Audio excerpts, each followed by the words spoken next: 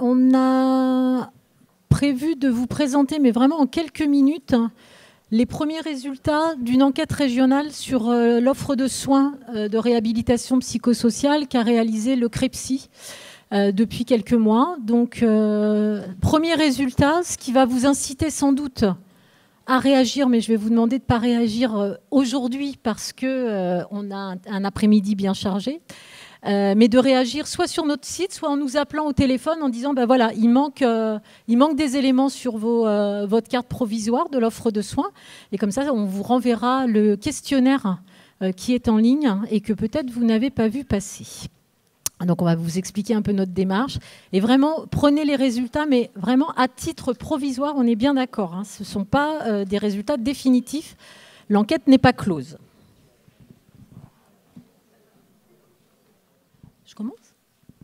Alors, petite enquête, euh, premier point sur l'enquête régionale. Cette enquête a été, on a commencé à l'envoyer euh, le, 20 mars, 18 euh, mars exactement, je suis en train de, m'apercevoir que je n'avais pas rectifié. on l'a envoyé à tous les établissements sanitaires publics et privés de la région. Et les personnes qui ont été visées par l'envoi de ces, ces questionnaires, parce qu'on ne pouvait pas inonder tout le monde euh, sur, euh, sur la région. On a envoyé ce questionnaire au niveau des directions d'établissement et des responsables de pôle qui devaient redescendre euh, ces questionnaires auprès de leurs collaborateurs. Donc on a obtenu un certain nombre de, de, réponses. Les questionnaires, il y a 138 questionnaires, comme ce sont des questionnaires en ligne, qui ont été ouverts. Euh, mais seulement 70 euh, questionnaires sont exploitables à ce jour. Soit les gens ont commencé à remplir le questionnaire euh, et puis se sont arrêtés, soit ils les ont ouverts et ils n'ont pas rempli. Donc voilà. Alors après, c'est vrai que c'était une, logique un peu, différente des questionnaires papier, mais de plus en plus les questionnaires en ligne circulent et ça prenait un petit quart d'heure. En fait, ça prend un quart d'heure pour remplir ce questionnaire. À peu près, hein, c'est ce qu'on avait estimé. Euh, donc on a fait trois relances pour ce questionnaire. 70 réponses exploitables, je vous le disais à l'instant, et on a décidé de repousser au vu de la journée d'aujourd'hui. On s'est dit que peut-être ça allait susciter euh, à nouveau euh, un intérêt pour ce questionnaire. Donc on clôturera ce questionnaire à la fin du mois. Donc n'hésitez pas à revenir vers nous si vous avez des résultats à nous communiquer.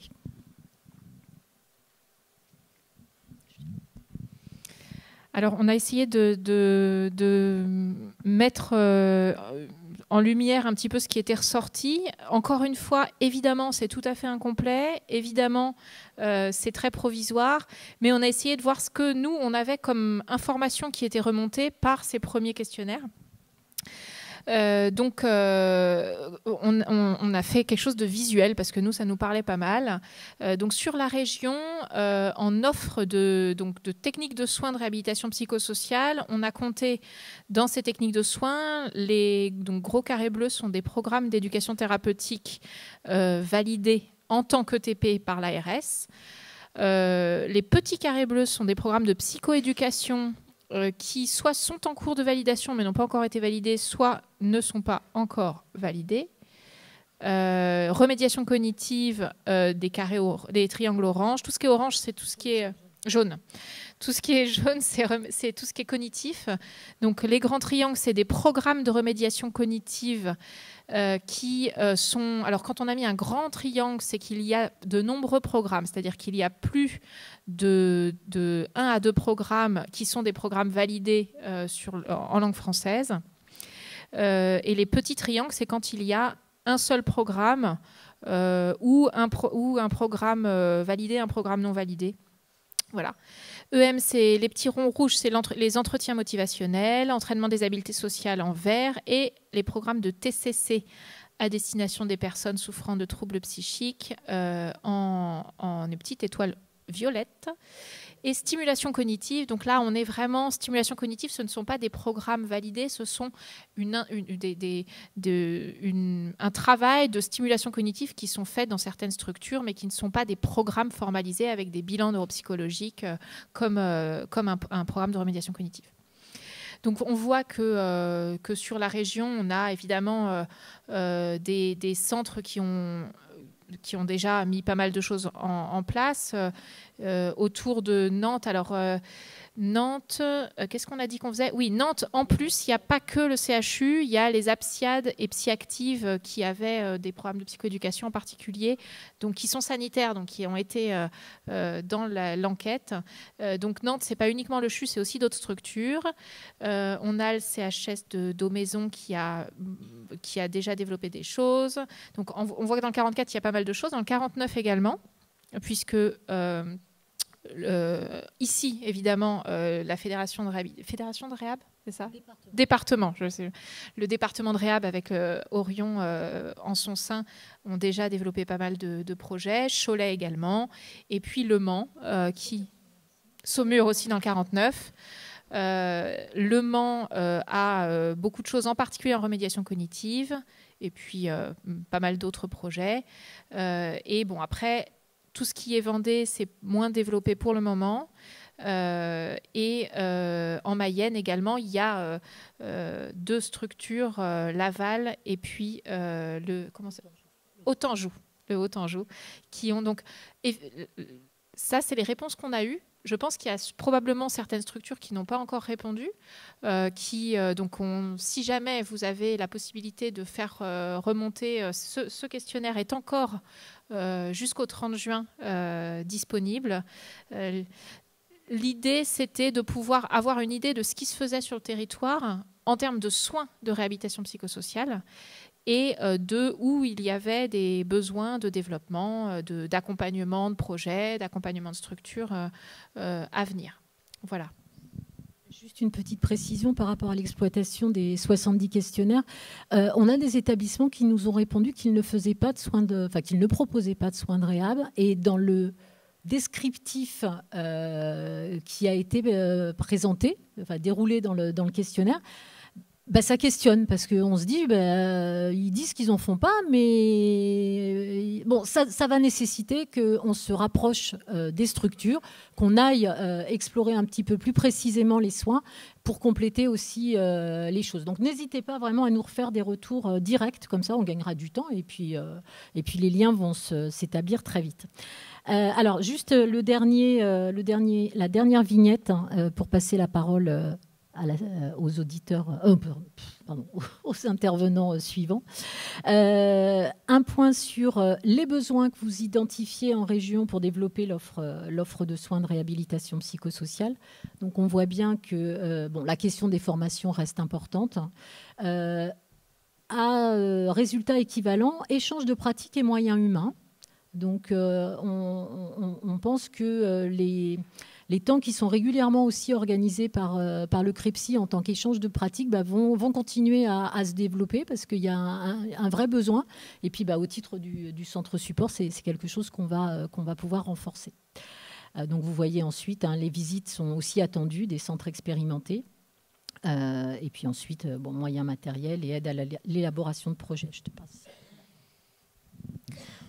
En termes de formation, euh, ce qui est principalement demandé, ce sont des formations courtes validantes en remédiation cognitive. Donc les, les, répondants euh, sont assez demandeurs de formation. Souvent, vous savez, c'est des formations de 3-4 jours euh, à un programme particulier. Donc ça, effectivement, ça permet d'être rapidement opérationnel sur un programme des formations pratiques aux outils d'évaluation fonctionnelle et de, en, réhabilitation, c'est aussi une demande. Euh, on les a mis dans l'ordre, hein, comme ça vous les avez. Euh. Et puis des formations beaucoup plus générales sur la sensibilisation au concept de réhabilitation psychosociale et de rétablissement. Euh, ça arrive en trois donc, ce, qui était, ce qui nous, nous a assez étonné, c'était que finalement, les 40 heures de TP arrivent tard, probablement parce que finalement, il y a déjà pas mal de structures sanitaires qui ont, qui qui proposent des formations ETP. En tout cas, ce n'est pas ce qui est demandé euh, en priorité. Euh, on, peut avoir des interprétations, voilà. Et puis les DU sont pas très demandés en quantité, mais évidemment c'est tellement engageant pour des équipes que forcément euh, ce sera, ça concernera de toute façon qu'une petite partie des, des personnes. Et voilà. pour ces premières. Évidemment, vous aurez, euh, quand on aura avancé, vous aurez un retour beaucoup plus complet euh, parce que non seulement on va finir, enfin, on va relancer le questionnaire pour avoir les quelques centres qui n'ont pas suffisamment répondu, et puis surtout après, on ira rencontrer et euh, solliciter structure par structure pour avoir plus de détails, pour savoir exactement ce qui est mis en place, dans quel contexte. Cet après-midi, on a souhaité euh, vous présenter euh, une expérimentation que nous faisons à Nantes depuis quelques années, qui est euh, de, proposer une offre d'accompagnement et de, de, oui, de soins coordonnée avec une, une, pratique de médecine du travail au sein du centre du, du donc du centre référent de, de, réhabilitation à Nantes. Donc moi, je suis Marion Espitalier, je suis le médecin psychiatre responsable du CRESERC. Et Boris, je te laisse te présenter. Oui, bonjour à tous et à toutes. je m'appelle Boris Sevrard, je suis interne en médecine du travail en toute fin de cursus des études médicales. donc là, je suis au huitième semestre actuellement. Précédemment, j'étais en stage au CRESERC euh, voilà, de novembre 2018 à avril 2019. actuellement, je suis au chantier de l'Atlantique. Juste pour la petite histoire, euh, je suis anciennement, dans une vie antérieure, un infirmier. Euh, j'ai travaillé pendant cinq ans en psychiatrie, notamment aux urgences médico-psychologiques de Saint-Nazaire, en unité d'admission à Blain et puis au CMP d'Anceny. Et donc là, en tant qu'interne en médecine du travail actuellement, disons c'est assez souvent qu'on a accompagné euh, des personnes euh, qui étaient en difficulté face au travail, euh, puisque mon premier stage c'était en médecine du personnel hospitalier, et ensuite en service de santé au travail interentreprise dans le secteur privé. et puis on accompagnait également des personnes douloureuses chroniques au centre d'évaluation traitement de la douleur. Donc voilà, le CRESIAC c'est dans cette continuité de stage où j'ai pu accompagner des personnes recherchant un travail ou cherchant à se maintenir à leur poste. Je ne sais pas, tu veux peut-être reprendre la parole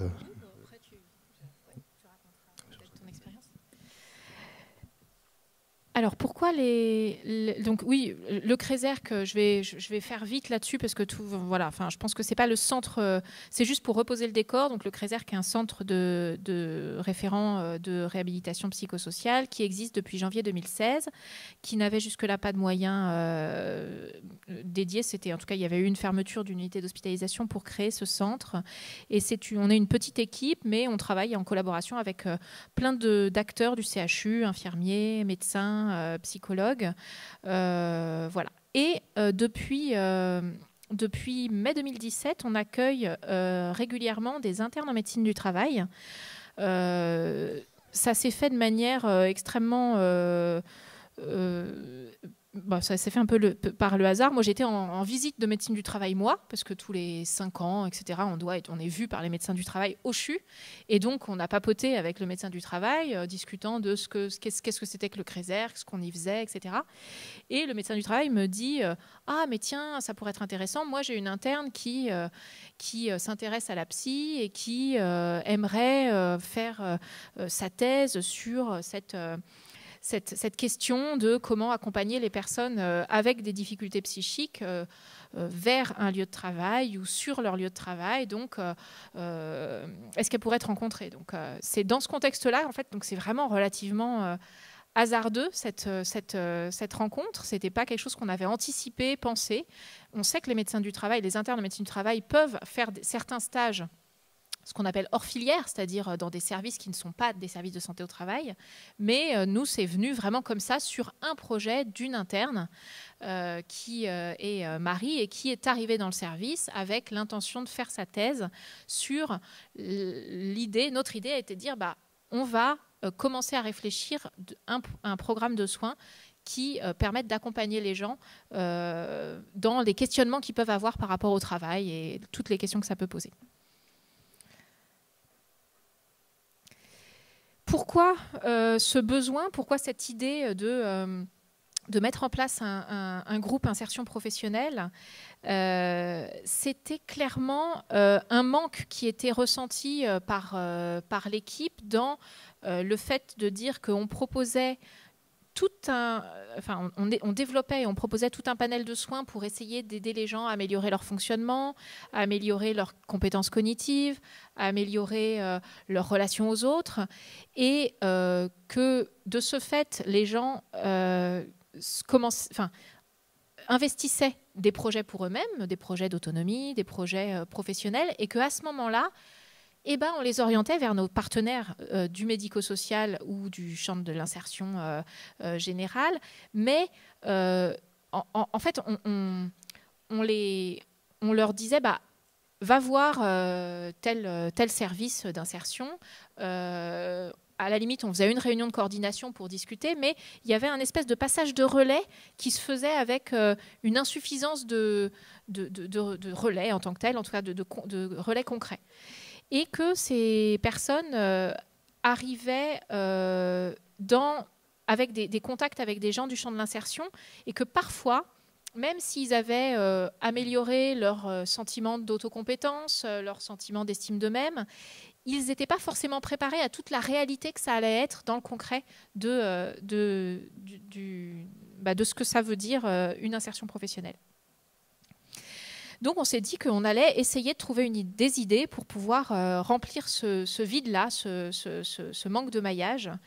Euh, donc on a monté une équipe de travail comme on fait tout le temps au Créserc, c'est-à-dire qu'on dit bah, qui est intéressé euh, et euh, on, a, créé une équipe de réflexion, de travail qui s'est ou coordonnée par l'interne de médecine du travail, donc Marie Gay qui était l'interne à l'époque, et puis on a proposé à des soignants et des intervenants de l'ensemble du, du pôle de venir participer avec nous. Donc il y avait des médecins du travail, des assistants sociaux, des infirmiers et euh, des pères aidants qui sont venus euh, sur certaines réunions pour euh, donner leur point de vue. on est parti sur une proposition de deux modules. Un premier module très théorique, on va en parler plus tard, et un deuxième beaucoup plus pratico-pratique. Et on a souhaité d'emblée évaluer l'efficacité de ce qu'on faisait avec un critère qui nous paraissait le plus important, il y a d'autres critères d'évaluation, mais le critère principal, c'était de dire nous, ce qu'on veut faire avec ce groupe-là, c'est pas forcément que les gens s'insèrent derrière euh, tout de suite maintenant, mais c'est d'améliorer le sentiment d'efficacité personnelle à surmonter les obstacles liés à l'emploi. Et il se trouve que en farfouillant un petit peu sur Internet, il y a une échelle qui existe qui s'appelle l'OITES, qui a été montée, euh, qui a été mise en place par euh, euh, une équipe de, québécoise, qui est, l'échelle OITES qui évalue justement ce sentiment d'efficacité. Donc voilà, je pense que vous y voyez rien du tout. Si donc ça se présente comme ça, en fait, ce qu'on l'évalue. Donc là, ça n'a pas un grand intérêt là, mais c'est juste de dire que euh, comme, euh, comme tous les soins qu'on souhaite mettre, qu'on met en place euh, au Crézerc, on a l'intention de d'évaluer ce que ça fait en fait et de savoir exactement qu'est-ce qu'on propose aux gens et sur quoi on, a, on, a, le, on, a une efficacité. Parce que peut-être que nous, on pense que ce critère-là, c'est celui qui va s'améliorer, et en fait, c'est pas du tout ça, mais ce sera l'estime de soi ou la qualité de vie ou rien du tout. D'ailleurs, euh, euh, on ne sait pas. Donc là, on a, on a à chaque fois qu'une personne euh, souhaite intégrer le groupe, il a plusieurs entretiens préalables au groupe, et puis ensuite, et avant et après, on lui propose quelques, on lui donne des échelles d'auto-évaluation et on peut coter comme ça son, son évolution. Du coup, je te laisse la parole, Boris. Je racontais juste euh, mon expérience précédente d'infirmier pour dire que euh, j'avais eu l'occasion euh, voilà, de me familiariser avec l'approche humaniste. et par la suite, j'avais fait une licence de psychologie d'inspiration cognitiviste à Paris 8. Donc euh, voilà, j'avais euh, ces approches-là en tête, mais en, arrivant en Crézerc, je n'avais aucune idée de l'éducation thérapeutique et de la réhabilitation euh, psychosociale. Donc c'était vraiment une super expérience pour apprendre ces domaines-là. Et donc évidemment, je n'avais pas de formation en éducation thérapeutique et je n'avais pas non plus d'expérience d'animateur. Donc c'était l'occasion de, de m'y mettre à cette co-animation. Alors pour en revenir à des choses plus pratiques, euh, l'animation euh, de ce programme d'éducation thérapeutique euh, sur l'insertion professionnelle et le handicap psychique s'articule en deux modules qui se déclinent en dix séances. qui se déroule en fait sur quatre mois. Donc là, ça s'est passé de janvier jusqu'au mois d'avril de cette année. Donc le premier module en fait est plus centré sur un partage d'expériences autour du travail. C'est absolument pas un cours magistral voilà, descendant, c'est plutôt un échange interactif d'astuces qui est bien favorisé par une dynamique de groupe très porteuse au fur et à mesure euh, que les participants apprennent à se connaître, ainsi que les intervenants.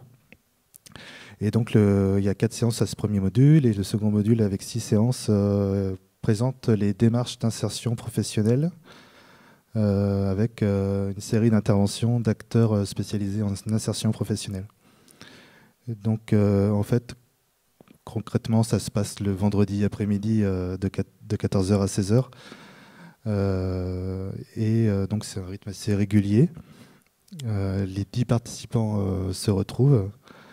donc en fait, à chaque fois, il y a un, petit temps de, de météo, brise-glace, etc. pour faire connaissance. Et ensuite, on se centre un petit peu sur la thématique du jour. Et puis après, il y a un tour de parole, un mot de la fin pour échanger sur le vécu de la séance. Euh, donc là, ce premier module, en fait, euh, l'idée, l'objectif, c'est plutôt euh, de mieux connaître les milieux professionnels, savoir s'auto-évaluer, apprendre à formuler son parcours professionnel. disons que là, on, utilise des, outils de l'éducation thérapeutique. Notamment sur la première séance, on débute d'emblée par le photolangage. Donc le photolangage, c'est des toiles de maître, des tableaux en fait assez connu euh, et on demande aux participants de, parler du travail. Euh, donc euh, c'était assez contrasté. Parmi les, 16 tableaux, certains ont choisi, voilà, ils ont choisi le même tableau, trois d'entre eux. c'était en fait une illustration d'un match de foot. Et donc ce qu'ils en retiraient comme idée, c'était l'idée d'esprit d'équipe. Et puis relever des défis ensemble. Euh, donc c'est l'idée un peu d'entraide et de solidarité qui ressortait d'emblée. Donc ça c'était le côté positif. Et puis un côté un peu moins positif, c'était l'un des participants en fait qui a choisi euh, le cri d'Edvard Munch, euh, qui en fait voilà, représentait un peu toute l'anxiété que peut déclencher le, travail. pour la seconde séance, l'idée c'était de présenter les milieux de travail. Donc ça va du milieu ordinaire, le milieu adapté, jusqu'au milieu protégé. Euh, on parle également de la MDPH, la RQTH. Euh, enfin voilà, on fait une première familiarisation avec toutes les structures qui peuvent aider dans l'insertion. Et la troisième séance, on va la développer tout à l'heure, c'était la journée au travail. Euh, et puis la main des points clés, en fait, c'est voir un peu ce que les participants ont retenu de ce qui a été évoqué précédemment, avec l'utilisation d'un autre outil qui s'appelle les abacs de Régnier, où en fait, c'est des petits cartons, on dit si on est d'accord ou pas d'accord pour que chacun puisse prendre la parole euh, librement d'emblée. Euh, sans être jugé. Euh, donc la question c'est est-ce qu'on est prêt à travailler Est-ce qu'on se sent prêt à parler de la RQTH auprès de l'employeur ou à évoquer les difficultés psychiques aux collègues? Donc voilà. donc, avant, de, faire tout ce, module 1, en fait, euh, ça ne se passe pas d'emblée euh, comme ça, mais il y a d'abord des, entretiens euh, en binôme, des entretiens de diagnostic éducatif. donc là, on utilise une, frise de vie professionnelle pour proposer aux participants de retracer la chronologie qui est ponctuée d'étapes de vie en général, avec le parcours de formation, l'expérience professionnelle, la trajectoire de soins, comment s'est articulé le cheminement psychique, euh, où en est le vécu actuel et la projection dans l'avenir. Euh, on a pris juste un petit focus sur la, séance 3 en fait. Euh, donc là on a utilisé l'outil fleur du jour, c'est la fleur de l'humeur. c'est un, outil dont je me suis inspiré en rebaptisant un petit peu les, les pétales et les pétioles pour les centrer un peu sur les thématiques euh, du travail. donc, euh, par exemple, on demandait aux participants comment je me sens. Donc, certains étaient très motivés, d'autres étaient plutôt inquiets. Les principales difficultés euh, au travail, ce qui ressortait le plus, c'était les difficultés de concentration, comment tenir la cadence, ce que j'aime le plus au travail, bah, je le disais, c'est voilà l'esprit d'équipe. D'autres cherchent, enfin voilà, apprécier le, travail pour trouver un sens ou voilà, c'est l'occasion de tisser des liens d'amitié. voilà, j'avais rajouté aussi le proverbe préféré, la devise personnelle ou le quel dicton pour incarner le rapport au travail. Donc euh, l'un des participants nous avait dit win-win, donc il nous a expliqué que c'était euh, gagnant-gagnant et que fait le travail était avantageux aussi bien pour le, salarié que pour l'employeur et les clients. Euh, une autre participante parlait de carpe diem, profite du jour présent. et puis un autre participant encore disait que le travail c'est être ensemble pour marquer des buts, donc plutôt positif. Les compétences à développer Là, ils ont séché un petit peu, ils n'avaient pas d'idée euh, sur quelles compétences développer euh, au travail. Euh, mais après, au fur et à mesure des séances, ils ont pu formaliser tout ça. Et les projets qui leur tenaient à cœur, bah, certains se voyaient bien devenir opticien ou chauffeur-livreur, un autre voulait devenir informaticien, et puis une autre vendeuse en biocop.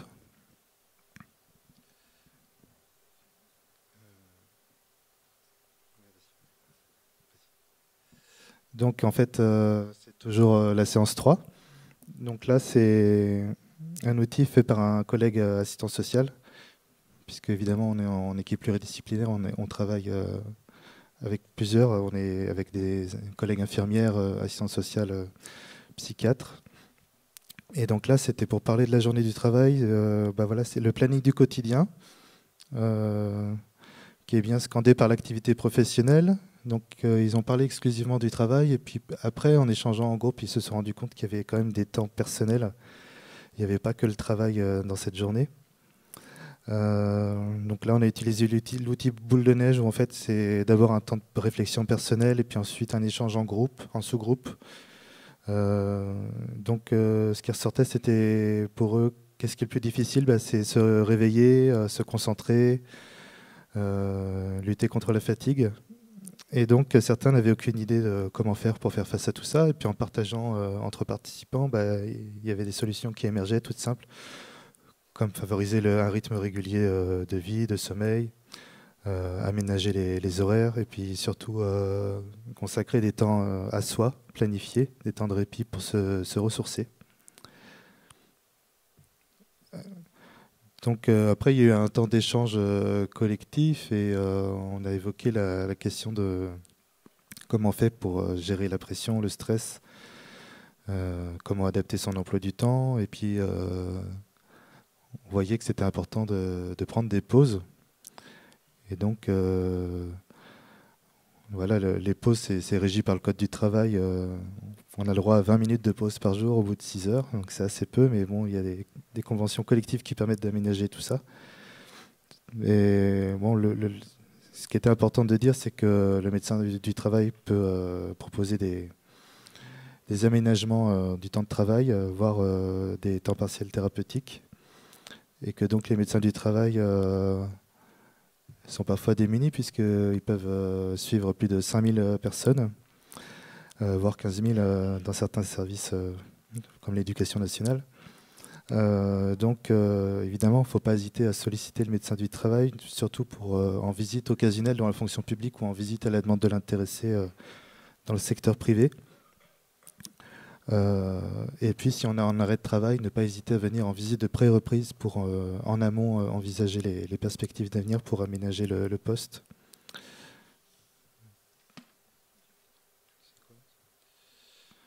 Donc ça, on en arrive au module 2, euh, qui en fait a été euh, complètement reconstruit euh, en fonction des questions et des attentes des participants. C'était un petit peu un module à la carte. Donc il avait déjà été structuré par Marie au départ et repris ensuite par Claire Engara, ma, co-interne en médecine du travail. Et donc on a rajouté certaines thématiques pour répondre aux attentes des participants. Euh, notamment euh, à propos du CV et de la lettre de motivation. Au départ, il y avait simplement un brainstorming euh, pour échanger en groupe sur ce que ça représente le CV et la lettre de motivation, mais en fait, rapidement, on s'est rendu compte que ce n'était pas suffisant. Donc, on a créé un diaporama qui parle du CV et de la lettre de motivation. Et puis, pour certains participants, ils n'en étaient pas encore à l'étape d'avoir identifié quel travail les intéressait, mais ils étaient plutôt dans la phase de construction d'un projet professionnel. Donc on a créé un outil pour ça qu'on va montrer par la suite là. et puis, en fait, initialement, ce module 2, il est quand même plutôt réservé à la présentation des intervenants spécialisés dans les structures de réinsertion professionnelle comme sur la première séance, le CEAP, là, ça fait partie de PsyActive. Donc, euh, PsyActive, vous connaissez sans doute, euh, il y a un pôle sanitaire avec un centre de post-cure euh, au Briord, et puis un ESAT à Saint-Julien-de-Concel et une entreprise adaptée au CRM Atelier. Et donc, le CEAP, c'est le service d'évaluation d'accompagnement professionnel avec un atelier de dynamisation. Marion me dit d'accélérer, donc le, CRP, c'est le centre de préorientation, enfin le centre de réadaptation professionnelle avec un centre de préorientation. L'ADAPI, il y a la passerelle Pôle emploi et l'emploi accompagné avec AntiCoach 44. Et puis à, la toute fin, euh, Cap Emploi est intervenu pour euh, expliquer euh, leur rôle. L'idée de, guichet unique pour plus de, un meilleur accompagnement des, personnes. Donc, ouais, ça c'était un blason du projet professionnel en fait pour que les personnes puissent symboliser enfin, comment s'inscrit le, contexte de leur recherche de travail, quelles, sont leurs qualités. Enfin, L'idée, c'était qu'ils puissent apprendre à se valoriser, euh, quels sont leurs centres d'intérêt et vers quoi ils se projettent. Et donc, euh, c'était pas évident pour eux de parler des qualités personnelles et des qualités professionnelles. Donc, euh, je leur ai fait euh, euh, un petit listing des qualités professionnelles qui peuvent être attendues par un recruteur. donc, pour savoir les dire aux recruteurs, il faut déjà en avoir conscience et savoir les se valoriser au travers de ces qualités, comme par exemple la ponctualité, le dynamisme, l'autonomie, l'adaptabilité, l'enthousiasme, etc. Et donc, concernant le CV et l'entretien d'embauche, ça a été graduel puisqu'on a fait ce que je disais là, le, diaporama, et puis ensuite euh, on les a fait travailler sur des CV euh, concrets pour euh, identifier ce qu'il fallait améliorer sur le CV.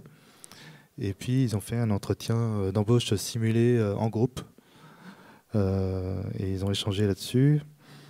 Et donc j'ai simplement cité ce qui était dans l'un des livres sur l'entretien d'embauche pour qu'ils puissent anticiper les questions préférées des recruteurs. Donc c'était l'idée d'un entraînement. Et donc, euh, tout au long de, de ce stage, euh, j'ai rédigé un livret du participant en m'inspirant de ce qui avait été fait par euh, ma co-interne Marie Gay et puis surtout des échanges réguliers avec les collègues qui intervenaient puisque c'est intersectoriel et multidisciplinaire. Donc c'est vraiment une co-construction. Euh, là, c'est une image qui reprend les thématiques euh, avec le partage d'expérience sur euh, le travail, la journée de travail, les acquisitions de connaissances, l'accompagnement spécialisé, et puis on tend vers la démarche personnelle d'investir un projet professionnel et savoir présenter son CV et rédiger une lettre de motivation et s'en sortir en, en entretien d'embauche.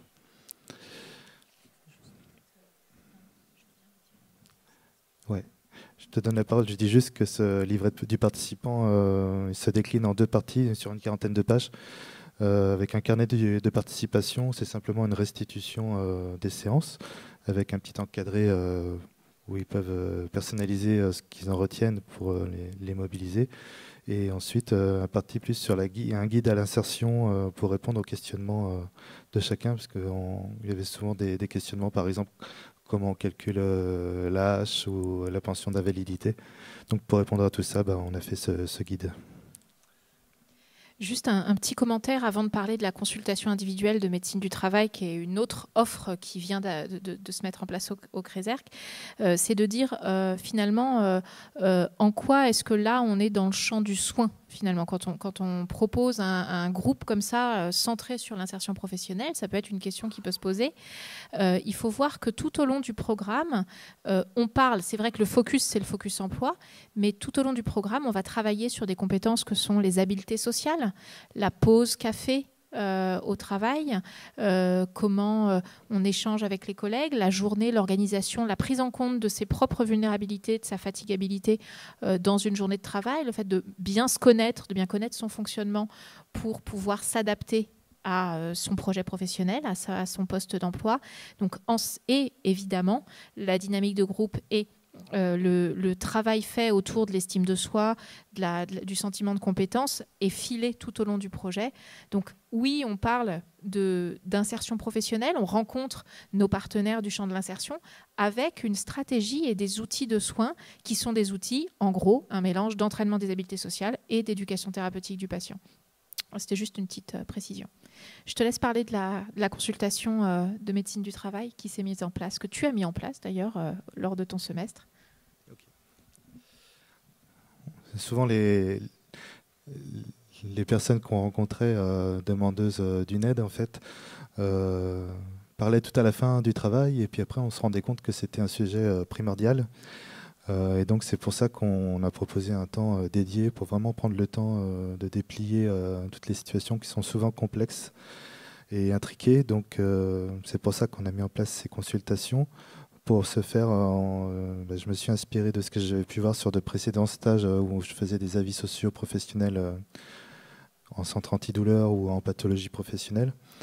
Là, au tout début, j'ai juste fait un bref historique de la médecine du travail pour vous dire ce que c'est que l'émission d'un médecin du travail. Euh, en 46, euh, c'est la loi fondatrice de la médecine du travail. Donc c'était un rôle purement euh, préventif, comment éviter les, altérations de la santé, notamment les maladies professionnelles. Et en 2002, on a découvert que la pluridisciplinarité existe. et donc il y a eu une création des services de santé au travail et puis les équipes pluridisciplinaires de santé au travail sont devenues obligatoires en 2011. Et là, euh, on a changé un petit peu de statut parce qu'on n'était plus simplement un conseiller de l'employeur ou un préventeur, mais euh, notre raison d'être devenait le maintien en emploi et euh, la prévention de la désinsertion, professionnelle. Donc c'est pour ça qu'il y a quand même un lien avec ce qu'on peut faire au, au Et donc la médecine du travail, elle a été vraiment révolutionnée par la loi El Khomri du 8 août 2016 qui met, fin aux visites périodiques obligatoires avec les médecins du travail, mais aujourd'hui c'est plutôt euh, des suivis individuels renforcés pour les personnes qui présentent des risques euh, professionnels. Et euh, là, je vous ai parlé du suivi individuel adapté, simplement pour les personnes reconnues en situation de handicap. Eh bien, elles sont nécessairement suivies par un médecin du travail et c'est rapproché à tous les trois ans, alors qu'il n'y a plus de périodicité de visite pour les autres situations. Donc c'est tous les trois ans. Euh, si j'en reviens aux consultations au CRESERC, euh, l'idée c'était d'accueillir les personnes qui souhaitaient être soutenues dans leur rapport euh, au monde du travail. Donc c'est très large, il n'y a aucun critère d'exclusion. Au contraire, on, peut inclure toute personne demandeuse pour les accueillir en consultation, pour les accompagner sur leur projet professionnel. Donc ça peut être l'accès en emploi, mais ça peut être aussi un retour en activité ou un maintien en emploi en valorisant euh, les atouts, euh, en encourageant leur démarche et faciliter les initiatives d'insertion. Donc à droite, je vous ai mis euh, une trame que ma co-interne Clarène avait mis en place. moi, je suivais une autre trame, mais bon, ça reprend un peu les, mêmes éléments. Voilà, moi, la méthode que j'ai employée, c'était plutôt la redynamisation motivationnelle d'inspiration humaniste. Euh, donc l'entretien semi-directif centré sur la personne avec acceptation inconditionnelle de ce qu'elle peut nous dire et avec un regard euh, très positif. Euh, donc concrètement, c'était des échanges d'une heure pour susciter l'envie de, changement. tout ça reposant sur la relation d'aide, l'empathie, la neutralité bienveillante, etc. et donc, à la toute fin de ça, on émettait un avis socio-professionnel avec des conseils personnalisés euh, pour éclairer les personnes sur leur orientation, euh, les aider à mobiliser les ressources, euh, aussi bien les ressources psychiques internes que les acteurs extérieurs.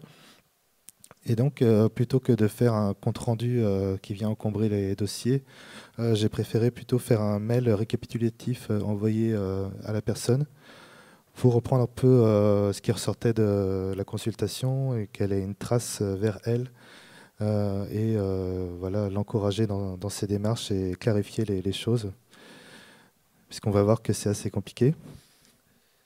Euh, donc, sur cette, petite heure de consulte, on aborde toutes sortes de choses, bah, classiquement l'anamnèse avec les antécédents, le traitement, l'histoire de la maladie, la prise en charge et surtout les, référents impliqués autour de la personne. Et on prend le temps d'évoquer la sphère socio-familiale avec le réseau amical, la situation de famille, les personnes de confiance. et puis on n'oublie pas le côté socio-économique parce que des fois on a des surprises, il y a des personnes qui n'ont aucune aide financière. donc on essaye de savoir si elles perçoivent des allocations, si elles ont pu rencontrer une assistante sociale et si elles ont un statut RQTH reconnu. Euh, le curriculum laboriste, c'est simplement le, CV, l'expérience professionnelle, le parcours de formation. Donc ça, on, parle toujours euh, du vécu euh, au travail, les expériences qu'ils ont appréciées. Et puis, on essaye de dégager un projet professionnel ou de retour au travail en fonction des, vocations ou des affinités avec certains secteurs d'activité. Et donc, on interroge un peu sur le niveau de connaissance des structures accompagnatrices. Euh, donc il y en a toutes sortes, il y en a des centaines. Euh, donc c'est difficile d'en établir une cartographie, mais là c'est simplement j'ai mis euh, concernant la manière de se former quelques structures comme le CIO qui dépend de l'éducation nationale où il y a des psychologues en orientation, le SEIO pour une formation universitaire. Après Pôle Emploi qui est bien connu, les bilans de compétences avec le fonds GESIF, toutes les structures mobilisables euh, par Pôle emploi avec euh, l'AFPA, le Greta. Les...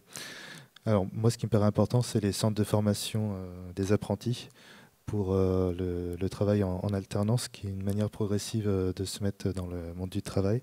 Et puis aussi les, ateliers et chantiers d'insertion. Et puis on parle un petit peu d'Handisup qui peut accompagner les personnes dans leur parcours de formation. À droite, c'est un tableau où on a les structures dont j'ai parlé concernant l'insertion professionnelle avec un suivi spécialisé. Donc c'est l'idée d'abord, en tout premier lieu, de, s'adresser à Pôle emploi, puis à Cap emploi si on est une RQTH, puis aux structures spécialisées et, une stratification des, possibilités de recours. Tout ça s'articule autour de la MTPH. Donc en conclusion, euh, en tant qu'interne en médecine du travail, pour moi c'est un changement complet de paradigme puisqu'en fait on passe d'une clinique du symptôme euh, qu'on nous a bien rabâché euh, pendant dix ans d'études à plutôt une compréhension du fonctionnement de la personne. Le côté fonctionnel est positif.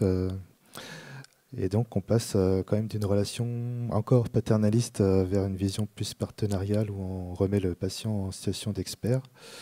et puis on passe du colloque singulier à un travail en équipe multi-réseau donc euh, en médecine du travail, c'est déjà pluridisciplinaire, mais ce n'est pas encore multi-réseau. Il n'y a pas encore d'échange avec, euh, par exemple, euh, les familles ou l'environnement social. si après on s'intéresse plutôt aux personnes, les, personnes accueillies en consultation, bah, c'est les inviter à cheminer vers leur, leur établissement en nourrissant leurs réflexions pour qu'ils aient une meilleure visibilité des possibilités. Euh, et puis surtout qu'ils se sentent soutenus dans leur parcours en les aiguillant. Euh, et puis euh, envisager des solutions concrètes pour s'autonomiser et accéder à une activité épanouissante. Donc après, juste trois propositions, puisque moi j'en ai, j'ai terminé ce stage, mais les collègues prennent le relais, hein, puisque j'ai un, co-interne, Rémi, qui a, pris le relais. Euh, et donc, euh, l'idée qui ressortait euh, des échanges en équipe, c'était peut-être élaborer des supports éducatifs comme des plaquettes informatives voilà, ludiques et, claires, utiles. Et puis, prolonger la dynamique d'insertion avec un suivi régulier en binôme. J'ai souvent vu les, personnes en solo, mais je pense que c'est important que mes collègues infirmières puissent être là pour articuler la prise en charge faire le lien avec les autres euh, acteurs. Et justement, pour faire ce lien avec les autres acteurs et créer une dynamique, une coordination, une liaison entre tout le monde, un trait d'union, bah, je pense qu'il faut vraiment mettre en place des réunions de concertation euh, et euh, au sens très large, c'est-à-dire pas seulement des acteurs de santé ou médico-sociaux, mais aussi les familles et le participant, les, les personnes. Donc voilà. Accompagner les personnes vers le rétablissement, c'est leur montrer comment arpenter un sentier personnel euh, qui est jalonné euh, souvent d'épreuves vers une activité euh, socio-professionnelle épanouissante et, les soutenir dans leur qualité de vie qu'on espère riche et pleine. Moi,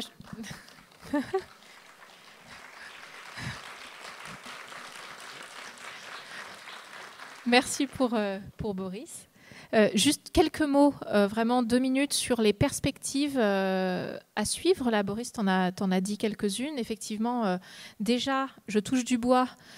pour le moment, jusqu'ici, tout va bien. On a des internes en médecine du travail qui continuent à faire des hors-filières au CRESERC. Donc, on, se repose encore hein, sur euh, cette, euh, possibilité-là de pouvoir continuer à développer notre, euh, notre offre dans ce champ-là.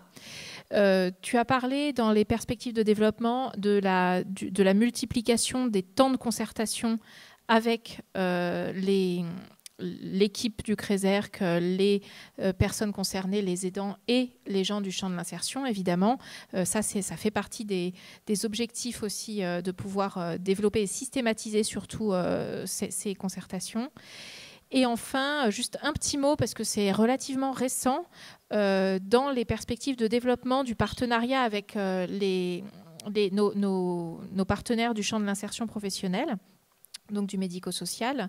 Euh, donc évidemment, vous avez, vu que les, on a le CAP, on a euh, Passerelle, le CRP de la Tourmaline, etc., qui, euh, qui viennent animer, enfin co-animer certaines séances, ou alors le groupe va visiter des structures aussi, hein, ça, se fait dans certaines structures.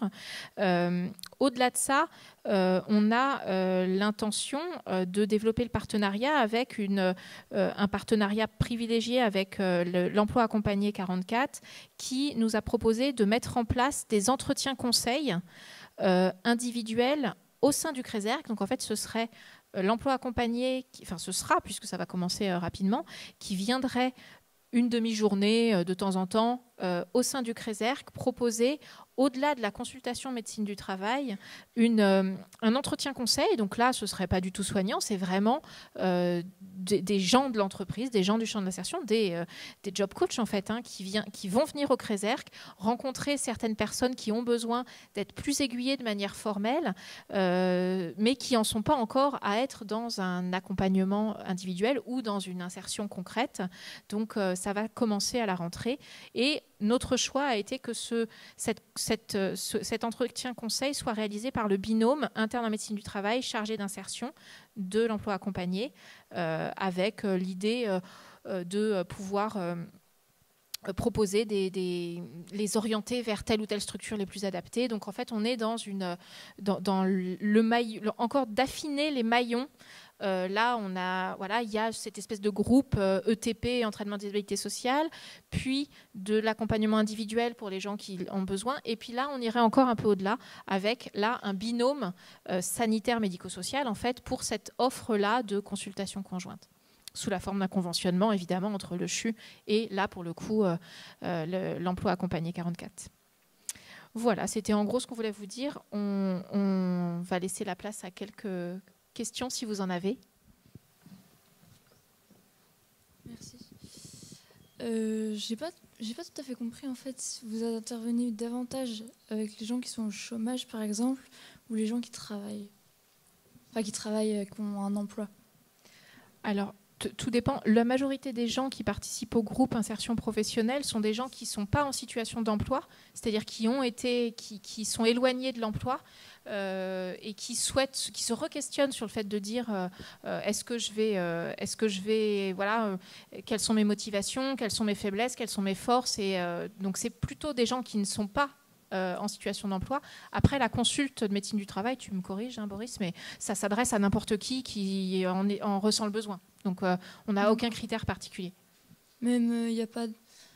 Enfin, au niveau des âges, par exemple, il y, y, en a davantage qui sont, je ne sais pas quel âge je pourrais dire, mais euh, c'est quoi les... On n'a pas de critères d'âge, à, part qu'on est de la psy adulte, donc globalement on, on, accueille les gens qui sont censés être majeurs. Après, euh, s'il y a du 17 ans et demi, on n'est pas fâché, mais oh, c'est 18 euh, tard. On n'a pas, pas de critères par rapport à l'âge. Ok.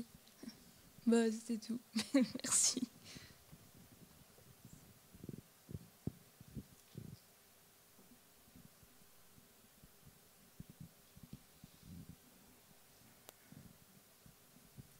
la, je prends la parole. Euh, bonjour. Moi, je, suis, je suis euh, effectivement euh, la, partie, la première partie là, sur l'accompagnement, les, différentes, les quatre modules, je trouve ça épatant. Et, j'ai vécu quelque chose de similaire en entreprise qui n'avait aucune connotation euh, euh, au niveau de la santé mentale et qui était simplement du co-développement euh, entre salariés. Hein. mais on retrouvait les mêmes, un petit peu les mêmes outils avec d'autres. Hein. mais et, moi, ce que j'ai constaté dans le monde du travail, c'est qu'on faisait de, la prévention, de la prévention primaire avec les risques psychosociaux. On faisait de l'accompagnement aux personnes qui étaient en invalidité on les amenait vers la euh, progressive. Mais on a, en fait, prévention tertiaire, mais sur le domaine de la prévention secondaire, eh bien, euh, euh, il se passe quasiment rien en entreprise. Or, je vois qu'il y a des outils qui pourraient être mobilisés pour justement faire que les personnes aillent mieux dans l'entreprise et puis se réinsèrent. Voilà, c'est une remarque.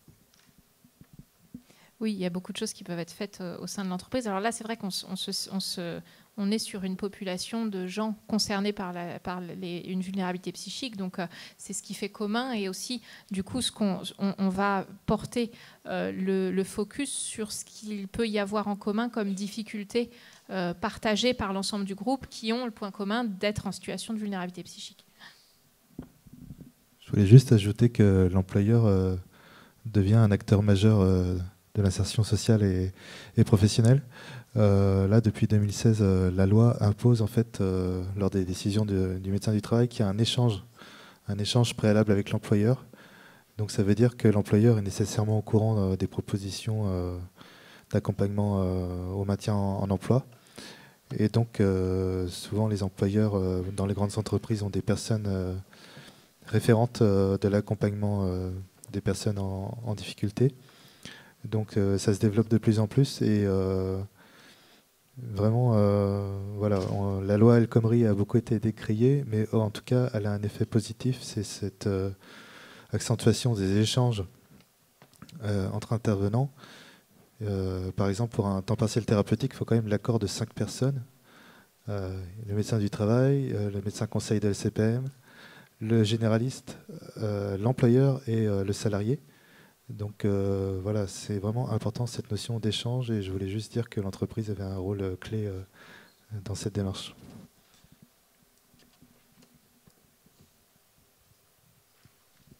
Pas d'autres questions? Alors on va passer aux intervenants suivants, si vous voulez bien vous installer. par contre, Marion, tu, on a oublié de dire que vous deviez être accompagnée cet après-midi par une personne et que donc elle s'était. Euh, oui, juste euh, Marc, qui est un ancien participant au groupe, qui devait venir avec nous, a été n'a pas été en, capacité de se joindre à nous. Donc voilà, on, on, était censé finir avec euh, l'interview de Marc et euh, son parcours, euh, ce que ça avait donné, puisqu'il a été un des premiers participants au premier groupe. Mais, mais ça n'a pas été possible pour lui aujourd'hui. Donc, une prochaine fois, peut-être le témoignage vidéo ou en live de, de Marc.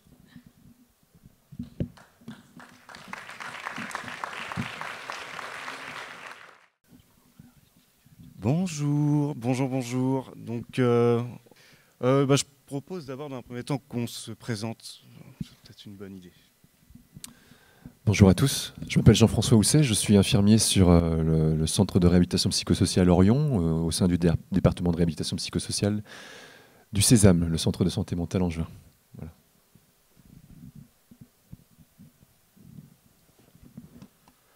Bonjour à tous, Corentin David, je suis coordinateur sur les résidences accueil gérées par l'UDAF 49. Euh, je ne sais pas si tout le monde connaît, j'essaierai de vous expliquer brièvement euh, par la suite. Euh, voilà. Bonjour, donc Florent Poupard, conseiller en insertion professionnelle au sein de l'association Alpha et plus particulièrement du dispositif API, Action pour l'insertion, et également justement conseiller en insertion professionnelle sur la structure Orion.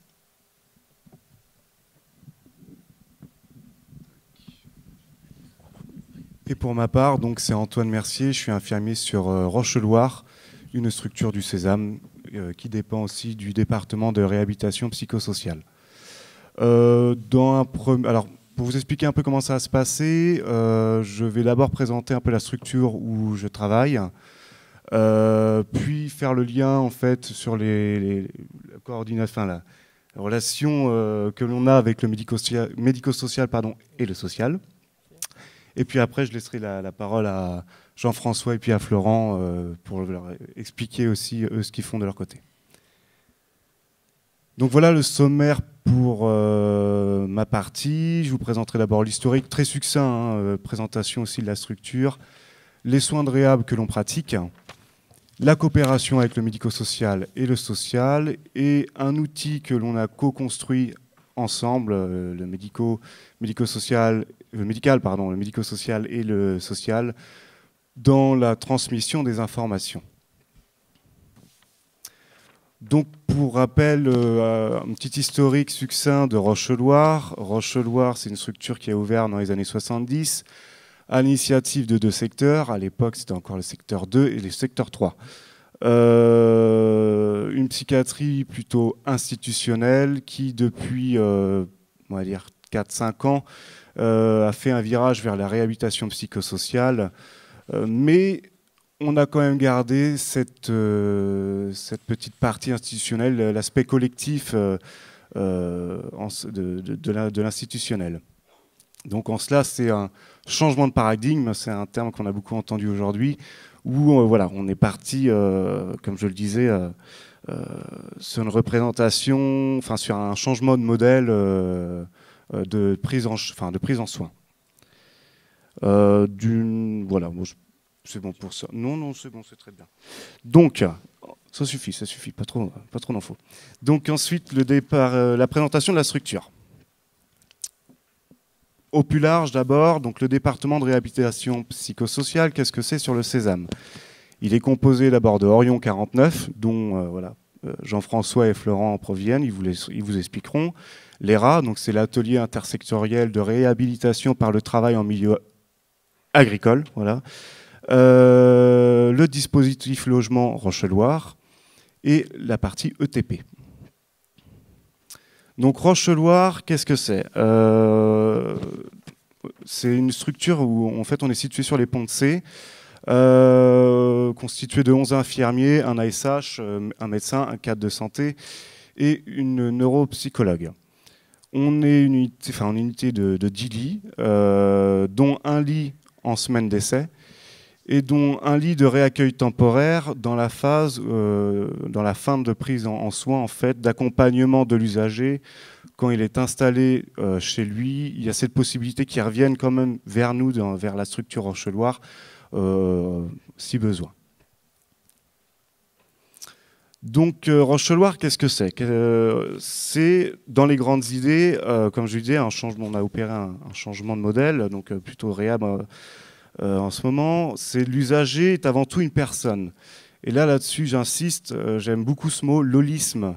C'est vraiment une prise en charge holistique. Euh, c'est-à-dire l'usager est un, est un tout, enfin, c'est un ensemble indivisible. On peut pas, il n'y a pas que la, l'usager n'est pas que, que, malade. Enfin, voilà, là là-dessus, on a fait un gros travail. C'est une prise en charge globale, pas prise en charge, prise en soin globale où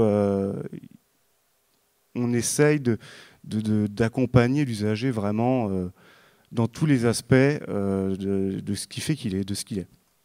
Donc c'est un focal sur les forces et intérêts plutôt que sur la pathologie. Hein. Euh, et puis on a, il y a cette idée-là aussi d'accompagner le projet de vie de la personne au plus près de ses besoins personnels et professionnels. Ce n'est pas à nous, soignants, de lui dire ce qu'il a à faire. Euh, il est très grand pour nous dire Attends, moi je veux faire ça, ça, ça. Ok, on y va. Donc voilà ce que, j'aurais pu dire sur, euh, les grandes idées. Plus précisément, sur Rocheloir, euh, on évalue la capacité de la personne à investir un logement. avec lui, on, construit en fait un projet de vie, on co-construit un projet de vie, et on l'aide en fait à mettre en place un peu euh, les mécanismes de compensation, s'il y a besoin, ou à trouver des solutions par lui-même. C'est clairement ça. on renforce, renforcer et accompagner les habiletés sociales dans les actes de la vie quotidienne et assurer le suivi dans la cité pendant six mois et le relais vers les équipes de secteur ensuite. Alors, pour être plus précis, nous, Rocheloir, on a une structure quand même intersectorielle.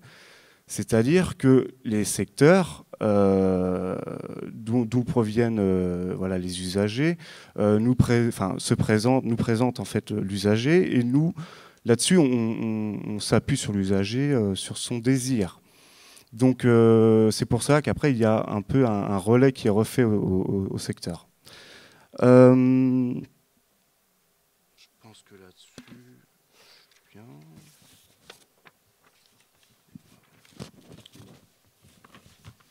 Donc on a construit euh, le, dispositif Roche-Loire, c'est une interface donc, entre l'hôpital et la cité. Donc il y a quatre étapes. Donc l'admission, où là on a une procédure d'admission qui est euh, singularisée, où c'est l'usager qui présente son projet et on l'accompagne, on valide ou pas si le, projet est, pour nous, si, ça correspond aussi à nos compétences dans, ce désir. L'étape 2, l'acquisition, où là, voilà, il est euh, arrivé sur Roche-Loire, donc on a une unité d'hospitalisation à temps complet, hein. donc euh, où là, on va pouvoir travailler en fait l'accompagnement et l'acquisition d'habiletés sociales et évaluer son autonomie, voilà, dans l'idée de l'aider à, acquérir un logement. L'étape 3, donc la transition entre Roche-Loire et son logement. Donc là, on installe l'usager, euh, on l'aide à s'installer dans son logement. Alors là, on construit, c'est pareil, c'est à la carte. Hein. C'est l'usager qui nous dit bah, Je ne me sens pas prêt, euh, je préfère aller tranquillement, on fait une nuit par semaine. Donc euh, vraiment, on s'adapte vraiment au mieux à l'usager. Et puis l'étape 4, où là, il y a l'intégration. Voilà, l'usager nous dit Bon, bah, c'est bon, j'ai plus besoin de vous, ça va le faire, j'y vais. Et donc là, là-dessus, on lâche pas quand même comme ça. Il y a un accompagnement, euh, grosso modo, c'est six mois, hein, où on va le voir chez lui. Donc VAD, c'est les visites à domicile. Euh, et là ensuite un tuilage avec le CMP d'origine où on restitue un peu la main euh, à l'équipe d'origine. accompagnement et TH dans le logement de la personne, voilà, si, si besoin.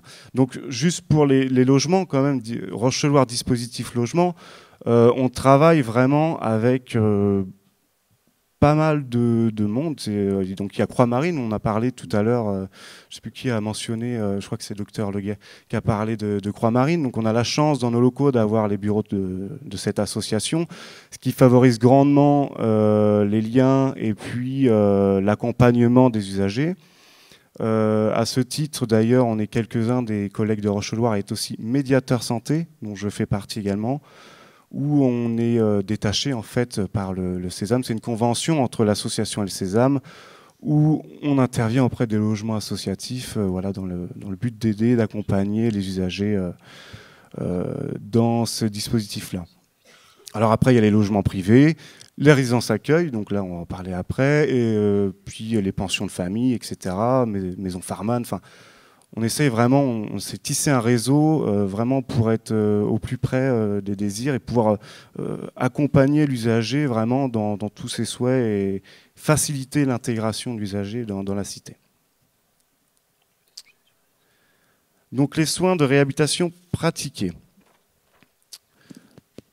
Alors je ne vais pas vous relire, savez lire, je, pense. Enfin voilà, grosso modo, qu'est-ce que c'est les réhabilitations, enfin les actes euh, que l'on va travailler avec l'usager, qui vont permettre, qui vont nécessiter en fait à l'usager euh, qui vont lui permettre de, rester dans, son logement.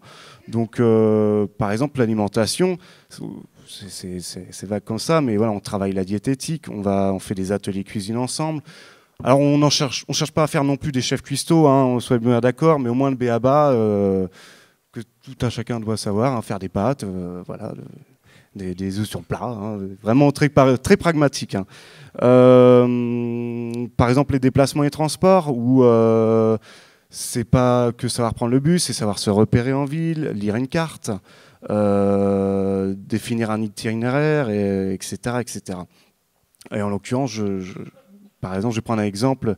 On a, j'ai suivi une usagère qui ne prenait pas du tout le bus, mais vraiment pas du tout. Et à la fin, en fait, de Rocheloire, elle nous a carrément emmené. C'est elle qui nous qui, disait aux infirmiers comment fallait faire, tellement elle a très vite acquis les compétences pour se déplacer. Et puis, euh, bon, bah, la gestion de l'argent, c'est pareil. On a la chance quand même euh, euh, de disposer de, régies qui nous permettent de travailler la, gestion de budget, savoir faire ses, comptes. puis voilà, on est en lien aussi avec les curateurs, etc. Voilà. Alors en outils, donc on travaille les habiletés du quotidien, mais comme je disais, c'est très important, c'est cette notion de parcours de vie quand l'usager arrive sur la structure, on travaille aussi beaucoup avec la, la, référence infirmière. L'usager choisit ses référents. C'est-à-dire qu'il y a quand même une relation de confiance, une relation, un, transfert qui se fait, et on, s'appuie beaucoup là-dessus, en fait. Et grâce à des outils comme l'ADEB, l'AERS, euh, l'EAS aussi, l'échelle d'autonomie sociale, on, c'est vraiment grosso modo et l'ADEB hein, pour euh, pour pas le citer, mais on arrive quand même à définir ces projets à court terme, moyen terme et long terme. Euh, cette demande d'aide, euh, après, nous, on on a étoffé aussi un petit peu notre, notre proposition de soins avec de l'éducation à la santé. Alors, on n'a pas de TP, ça on laisse à Orion. Mais on a les, lundis santé, ça, fait un peu euh, euh, émission de télé, mais les lundis santé, euh, où on a un sujet, ce qui peut tous les, tous les lundis, où on va parler des effets secondaires des traitements, la diététique, en faisant intervenir, par exemple, la diététicienne du, du, sésame, en faisant intervenir la pharmacienne. vraiment, on s'appuie vraiment sur sur beaucoup de gens autour de nous, sur un réseau complet qui peuvent euh, nous aider euh, dans cette démarche. Petite parenthèse, sur le Roche-Loire, chaque infirmier a presque une mission. Euh, par exemple, pour ma part, comme je vous l'ai dit, c'est médiateur santé. en l'occurrence, pour l'éducation à la santé, on a Clémentine Godichon, pour ne pas la citer, qui, elle, est vraiment axée là-dessus et qui fait un travail remarquable, je souligne au passage, dans cette démarche-là. Donc l'évaluation cognitive, comme je vous le disais, on dispose aussi d'une euh, neuropsychologue avec Camille Landry, qui est aussi sur Orion. Euh, et la réhab, les soins pratiqués, c'est vraiment aussi beaucoup d'accompagnement vers la, d'accompagnement vers la cité, d'accompagnement dans tous les gestes de la vie quotidienne. Enfin, ça peut être euh, dans un premier temps aller chez le médecin traitant, aller chez un, chez le dentiste voilà, c'est ça aussi notre boulot, c'est aller vers l'extérieur euh, en les accompagnant dans un premier temps, et puis après, ils, prennent très vite le pas. Et là, je l'ai souligné, c'est du lien. Beaucoup de liens. Rocheloire ne serait rien si on n'avait pas un réseau de professionnels autour de nous euh, et un réseau aussi d'usagers qui nous aident. donc, quand j'y travaille de liens, c'est aussi comme je le disais, c'est euh, le holistique, c'est une prise en charge holistique. C'est-à-dire qu'on s'appuie autant sur la famille, avec là, par exemple, comme je le disais, on a des, il y a, le, ProFamille, par exemple. Hein, on a une collègue qui est inscrite dans cette démarche-là. Euh, le travail vers les secteurs, les CMP, les équipes de soins hein, pluridisciplinaires, et puis, euh, et puis le médico-social et le social. Et là, je fais le lien, normalement, si j'ai bien fait mon truc. C'est magnifique, la coopération avec le médico-social et le social. Eh bien, tu vas parler un petit peu à ce moment-là alors moi, avant de commencer, je vais vous présenter rapidement les, ce qu'est une résidence accueil. Alors déjà, l'UDAF gère deux résidences accueil dans, le département du Maine-et-Loire. Euh, une euh, sur Angers qui euh, dispose de 25 logements et une sur Saumur de 15 logements. de quoi il s'agit? En fait, il s'agit de dispositifs qui proposent des logements pour des personnes en situation de handicap psychique et dont l'état est suffisamment stabilisé pour accéder à un logement autonome. Alors sur ces structures, il y a du soutien, c'est-à-dire qu'en fait il y a des professionnels qui interviennent, des travailleurs sociaux, une équipe de trois personnes euh, sur euh, Angers, une équipe de deux sur Saumur, et ils vont intervenir à la fois sur la vie collective, ponctuée de temps d'animation, des temps conviviaux, et ils vont intervenir dans la veille sociale individuelle auprès des personnes. Alors la veille sociale, ça se traduit par des entretiens individuels dans leur logement ou dans des bureaux euh, faits pour, et où on va évaluer un petit peu le quotidien des personnes. On va être aussi vigilant sur l'état de santé psychique des personnes, et on va coordonner les partenaires qui euh, gravitent autour des résidents. Voilà un petit peu pour ce, ce que sont les résidences d'accueil. Normalement, je fais une présentation beaucoup plus longue, mais là, je vous fais très rapide parce qu'il ne s'agit pas de, parler de ça aujourd'hui, enfin de ne pas parler longuement de ça aujourd'hui. nous, en tout cas, je viens un petit peu euh, témoigner de l'expérience qu'on a avec Rocheloir, et notamment enfin, Rocheloir euh, et le Sésame euh, de manière générale, puisqu'on a un partenariat conventionné avec eux, hein, ce, qui, est nécessaire hein, dans, dans l'accompagnement des personnes du coup, en situation de handicap psychique à la résidence. Euh, et en fait, aujourd'hui, à la résidence, on ne dispose pas de, enfin, dans les résidences, on ne dispose pas de, de logement d'évaluation. Euh, tout à l'heure, Antoine parlait de, toute la partie évaluation, et, là, c'est ce qui va nous intéresser nous, lorsque en fait les personnes euh, passent par le dispositif Rocheloir, c'est que du coup, ils vont arriver avec un projet qui du coup aura été évalué et avec une cohérence dans l'entrée, en fait, dans l'intégration à la résidence, ce qui va favoriser justement l'intégration à la résidence hein, et éviter, éviter les, les échecs impossibles d'intégration. Euh, en plus de ça, euh, on a récemment du coup constitué un, groupe entre le sanitaire, le médico-social et le social. Ah, tu, je vais trop vite là D'accord. Bon, alors je vous laisse euh, un petit peu en suspens. c'est ça, il faut, faut se faire voilà, désirer. Donc voilà pour comme disait non voilà arrête. Donc le travail voilà c'est vraiment un travail de lien euh, comme je le soulignais, où euh, on va pas se cacher, le travail de lien, c'est euh, euh, être là quand l'autre a besoin. C'est-à-dire que nous, quand on accompagne un usager vers une structure, comme par exemple sur Max Zologne, donc l'usager, c'est lui voilà, qui fait le lien entre nous, ça c'est clair, c'est lui qui sera le premier interlocuteur, j'ai envie de dire. Mais des fois, ça, peut arriver, voilà, ça se passe pas très bien.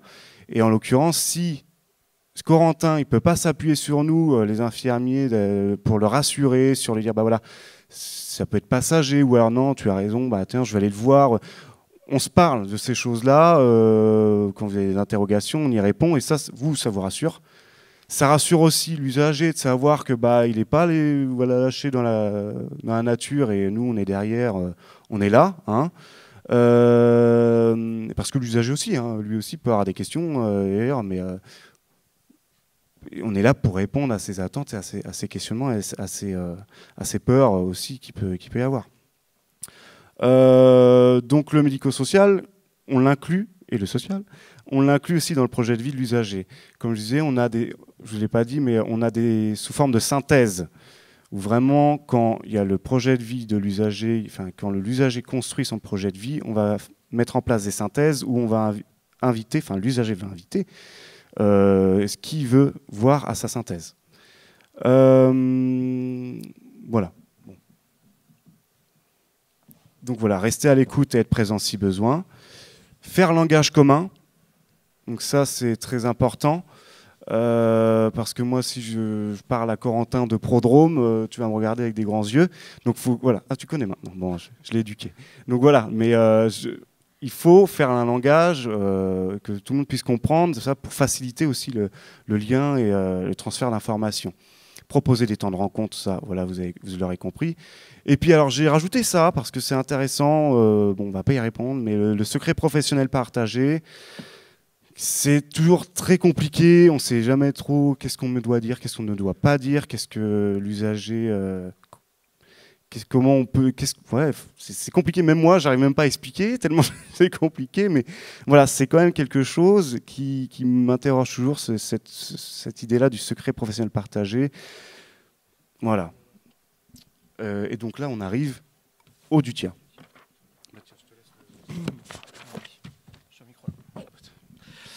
Donc euh, tout à l'heure, je vous disais qu'on avait, euh, on s'était, euh, on s'était mis en commun avec le sanitaire, le médico-social et le social pour créer un outil. Alors en fait, l'idée de créer l'outil, c'est parti d'un constat qu'on avait parfois des difficultés au passage de, transmission d'informations lorsque les personnes arrivaient sur les nouvelles structures. donc on s'est dit qu'on pouvait peut-être faire un travail en commun pour favoriser l'intégration des personnes. Hein, dans cette optique-là, on, vous, on vous donnera après les objectifs hein, plus précisément. et donc ce travail a commencé il y a un an avec Rocheloir, l'équipe de Rocheloir, avec aussi des personnes de, de différents URP, mais aussi le CESAD, des Poncés. Pro les quoi Pro les sables. Euh, et puis euh, quelques structures aussi qui sont venues ponctuer euh, sur les groupes de travail, aide accueil, mais aussi la Gautrèche sur, sur Cholet, etc. donc nous avons commencé ce travail et je ne sais pas si tu peux passer la diapo avec des objectifs euh, qui étaient euh, dans un premier temps d'harmoniser effectivement nos, évaluations parce qu'en fait on s'est rendu compte qu'il euh, y avait une évaluation utilisée par, chaque structure. Et là c'était l'idée en fait de, cet outil c'était vraiment de faire une photographie à un instant T de là où en est la personne. Pas dans l'idée de, de, mettre en place des plans d'action derrière mais bien sur du passage d'informations D'ailleurs le DUTIA on ne l'a pas, expliqué mais c'est un document unique de transmission et d'information sur l'autonomie. Et petite précision aussi sur le DUTIA, il est encore en cours de, travail, hein, il n'est pas finalisé. Euh, pour vous donner un petit peu les, phases suivantes de là où on en est, c'est qu'on a, on a, travaillé sur le fond, là on travaille euh, actuellement sur la forme, euh, et normalement il sera prêt pour une phase de test à partir de l'automne, où là du coup on va le présenter à différentes structures du social, du sanitaire et du médico-social. pour cette phase de test, on va proposer à des travailleurs sociaux, des infirmiers, et des éducateurs euh, du coup de, tester euh, cet outil. six mois plus tard, on pensait faire une évaluation du coup cet outil-là, le réajuster et le présenter de manière générale à toutes les structures qui, qui veulent s'en saisir du département. Voilà, et pour continuer du coup avec les objectifs, on avait aussi donc l'idée d'harmoniser notre communication, hein, le, langage commun hein, que disait Antoine. Euh, mais aussi, euh, aussi l'idée de favoriser l'expression de l'usager. Euh, là, on était parti aussi dans un outil qui, que, que, puisse, que l'usager puisse porter, en fait, hein, vraiment, qui puisse venir avec de structure à, structure, parce que, parce que mine de rien, il y a beaucoup de structures passerelles, voilà, donc, donc avec beaucoup d'évaluations de, différentes. Donc là, l'idée, c'est vraiment d'avoir un document unique. Donc bien sûr rendre euh, l'usager acteur de, son parcours, ça en fait partie. Euh, élaborer du coup une grille commune. Euh, d'ailleurs ça fait écho à ce que disait Denis Leguet ce matin hein, sur l'élaboration des grilles communes. et faciliter la, transmission des informations, bien sûr, hein, j'en ai parlé aussi. et puis enfin faciliter l'intégration de l'usager dans un nouvel environnement. Donc voilà, j'en ai aussi parlé. Je te laisse enchaîner peut-être sur les, sur les items? Non, sur le fond, mais parce que les items ont. Oui, oui, ils sont dedans. Donc le fond, alors, aucune cotation. C'est un document de transmission d'informations, c'est pas un document d'évaluation. L'évaluation, euh, il y a l'ADEB sur les besoins et euh, des. Euh, moi difficultés, merci, de, de l'usager. Donc on a quatre parties évoquées l'autonomie au quotidien, la santé, les capacités cognitives et les capacités relationnelles. Et puis c'est un outil qui appartient à l'usager, c'est-à-dire ce sera à lui de s'en saisir ou pas, de le transmettre ou pas. Euh, je rajouterai quand même en, limite euh, de, notre, de, notre outil, du, TIA, euh, c'est qu'on n'a pas intégré pour le moment encore d'usager dans cette démarche-là. On compte bien la prochaine fois en fait euh, à ce qui est des usagers dans le groupe de travail, euh, qu'on ait un retour aussi de leur part. Et euh, je, précise aussi sur la suite des événements, comme tu avais dit. donc quand on va le présenter aux, collègues, donc là dans le mois de septembre, on aura une grille d'audit pour évaluer aussi tout l'outil du point de vue professionnel et du point de vue des usagers. Donc voilà pour nous. J'espère qu'on a été clair. puis, rapidement quand même sur, euh, sur comment ça va, ça, va se, ça va se traduire cet outil-là. C'est un outil qui, qui, sera sous forme d'entretien en fait avec la personne, euh, où du coup on va recueillir euh, ses propres ressentis, ses propres observations sur, sur ses capacités, et on, on, laissera aussi la place à l'observation du professionnel, aux précisions qu'il peut apporter et éventuellement aux écarts qu'il peut y avoir. Voilà, sachant qu'on pourra euh, vous le présenter de manière générale euh, d'ici un an environ. Euh, il, sera, il sera finalisé. On verra des invitations. Bah voilà, merci à vous de nous avoir écoutés. On fait les questions-réponses peut-être après? Hein, C'est ça? Donc voilà, bah merci.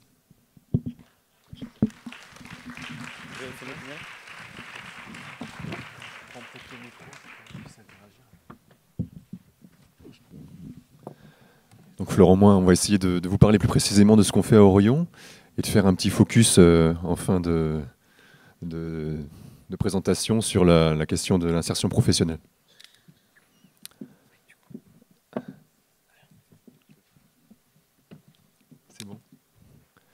Alors, euh, je vais commencer par vous présenter Orion 49. Du coup, c'est un, service qui, appartient au département de réhabilitation psychosociale, une unité spécifiquement d'accompagnement euh, euh, ambulatoire intersectoriel du Sésame à destination des personnes de plus de, 16 ans. Nous proposons des soins et accompagnements du, parcours de rétablissement des personnes en situation de handicap psychique. précisément, on, vient, on propose une offre de soins et d'accompagnement spécifique à, toute personne qui exprime un désir de changement dans sa situation nous sommes constitués d'une équipe euh, pluriprofessionnelle. Euh, je vais vous faire une énumération assez brève. On a un chef de service, euh, médecin psychiatre, le docteur Gillot, une assistante médico-administrative, un cadre de santé, deux psychologues spécialisés en neuropsychologie, une psychologue spécialisée en thérapie cognitivo-comportementale, une équipe constituée aussi de quatre infirmiers, dont j'en fais partie, un conseiller en insertion professionnelle, Florent à côté de moi, et enfin une collègue psychomotricienne qui vient aussi d'intégrer les l'équipe pluriprofessionnelle. Euh, notre approche est centrée, euh, comme, le dispositif logement, euh, sur, la personne. Il y a une approche, tout d'abord, une rencontre en faveur de, pour rendre propice, on va dire, l'expression d'un désir de changement. on évalue avec la personne le, besoin d'aide éventuelle de façon le plus singulier possible. Et en fonction de ce qui ressort de ce travail d'évaluation, euh, je dis avec un S parce qu'en fonction de ce qui est exprimé en termes de besoins, on va s'orienter sur une évaluation plus fonctionnelle, plus euh, au niveau des, troubles éventuels au niveau euh, neurocognitif, ou éventuellement sur la, compréhension de, sa situation de santé psychique. c'est très variable. Enfin, l'évaluation vient s'orienter en fonction du désir de changement qui aura été exprimé par la personne. On s'appuie aussi sur, des outils hein, dont tu as parlé, par exemple, et l'ADEB, quand on vient euh, dans une auto-évaluation du coup des, besoins et des difficultés. Euh, aussi, si on veut plus se, renforcer du côté de l'expression de ce qui fait ressources chez la personne, il y a une, formule qui se rapproche des LADEB plus du côté des ressources de la personne qui s'appelle l'AERES. Voilà. Et donc euh, le schéma que, nous vous présentons là vient un petit peu exprimer ce continuum permanent entre la période d'évaluation et des besoins d'aide et les soins et accompagnements qui seront proposés euh, y a, dans, un, avec un axe, on va dire, du parcours euh, de la personne. Donc là, elle se présente plus ou moins de façon linéaire. Elle est en pointillé, comme tu pouvais le, euh, justifier quand on a travaillé ce, support ensemble. il ne s'agit pas de quelque chose de, de linéaire, évidemment. Je ne sais pas si tu veux interagir, n'hésite pas en tout cas. On a voulu schématiser aussi euh, les étapes de notre accompagnement. D'abord dans un exercice euh, d'évaluation au, pluriel, euh, avec la spécificité de l'équipe pluriprofessionnelle qui interagit dans cette évaluation en fonction des besoins exprimés. L'élaboration, la coélaboration du projet individualisé de la personne. Et, au regard de, cet exercice d'élaboration de, projet, euh, des orientations éventuelles si ça ne dépend pas du ressort euh, d'Orion, à ce moment-là, un travail de partenariat, soit avec euh, les services sanitaires, médico-sociaux et, sociaux, avec les usagers, avec l'entourage, bien sûr. Et enfin, les soins d'accompagnement que propose aussi l'équipe Orion, des, soins qui, ressemblent de plus ou moins à, ce que propose par exemple le CRECERC au niveau de Nantes dans les développements des habiletés sociales ou l'entraînement dans les au niveau de la remédiation cognitive. Euh, et, voilà, il y a d'autres euh, perspectives de soins de, cet ordre-là. voilà, on va, on va, on va peut-être un peu plus se concentrer sur la notion du focus sur l'insertion professionnelle. Je vais peut-être te laisser la parole si tu veux. Donc, donc moi j'interviens bien au, nom aujourd'hui de, ma représentativité de, de l'association Alpha aussi, parce qu'effectivement euh, il y a eu euh, des, bouleversements au, sein de, euh, au sein du Sésame qui font que depuis quelques temps, j'ai intégré aussi de manière un peu plus pérenne l'équipe Orion. Mais moi, j'ai représenté en fait la, troisième génération, je crois, des conseillers en insertion qui sont intervenus dans le cadre du partenariat entre la structure API Action pour l'insertion, et puis, puis la structure Orion, avec cette volonté en fait de, proposer aux personnes suivies dans le cadre des, soins de réhabilitation proposés par, Orion, la possibilité aussi de travailler le projet professionnel, parce qu'effectivement, c'est, je crois, à peu près 50% aujourd'hui des personnes qui se présentent euh, auprès, euh, d'Orion qui souhaitent euh, d'emblée, en tout cas, lorsqu'elles expriment dans un premier temps leur, souhait, c'est le souhait de, retravailler, de retravailler ou de, ou de travailler tout simplement, de, pouvoir acquérir, retourner vers une, forme de, normalité, je, pense qu'on peut le dire comme ça, euh, que, représente, euh, que représente le travail euh, à partir du moment où, où on a atteint l'âge adulte. Voilà. donc, au niveau de, l'insertion professionnelle, bah, effectivement, on, travaille toujours dans, dans l'autodétermination pardon, et une logique de, parcours singulier, effectivement, où on entend le désir de la personne. C'est-à-dire que moi, je pars du principe que rien n'est infaisable, euh, l'idée étant qu'on euh, puisse en discuter ensemble et qu'on puisse mettre en place euh, les outils, peut-être interpeller les partenaires qui viendront, pourquoi pas, répondre à ce désir, en tout cas. Et puis, bah, bah, l'idée, voilà, c'est qu'on est aussi dans cette idée que le, parcours n'est pas linéaire et que du coup le, projet peut-être qu'on a identifié, qui a été identifié au début, n'est pas forcément celui euh, auquel on aboutira à la fin. Voilà, euh, on passe aussi par les, méandres de la maladie, euh, les méandres des, des difficultés personnel aussi. Je pense que euh, c'est pas à mettre qu'en lien avec la maladie. Je pense que comme tout à chacun, les personnes qu'on accompagne aussi peuvent avoir euh, rencontré des difficultés euh, d'ordre personnel ou, faire d'autres choix de vie.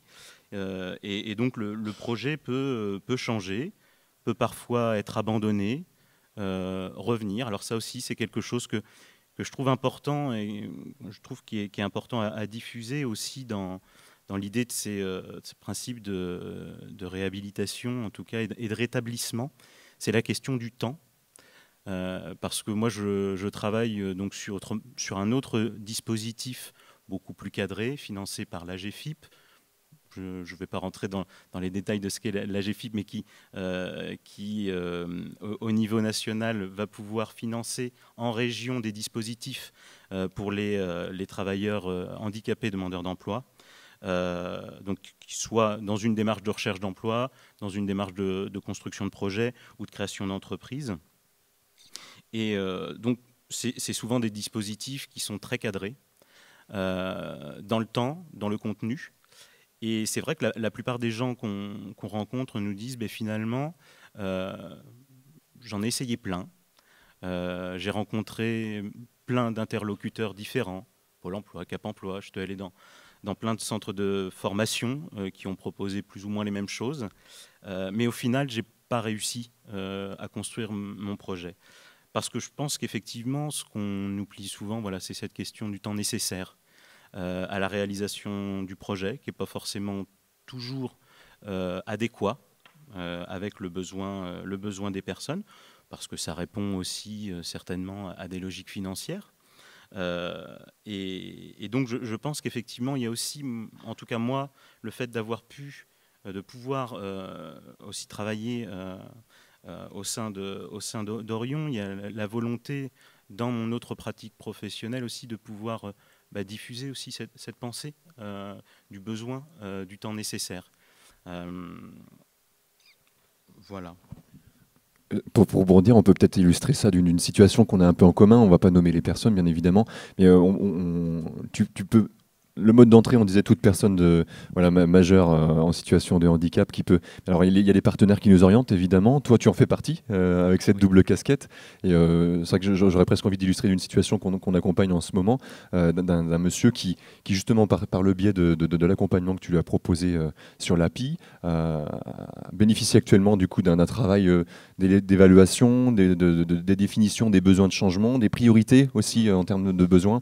C'est ce qui vient un peu illustrer la notion de partenariat sur mesure et réflexif. C'est-à-dire que toi, dans ton rôle quelque part au, sein de l'API, tu viens aussi argumenter, donner un peu notre évaluation au niveau sur, sur Orion, essayer de faire langage commun, un peu comme vous pouvez l'expliquer au niveau du dispositif logement, dont on le fait aussi quelque part.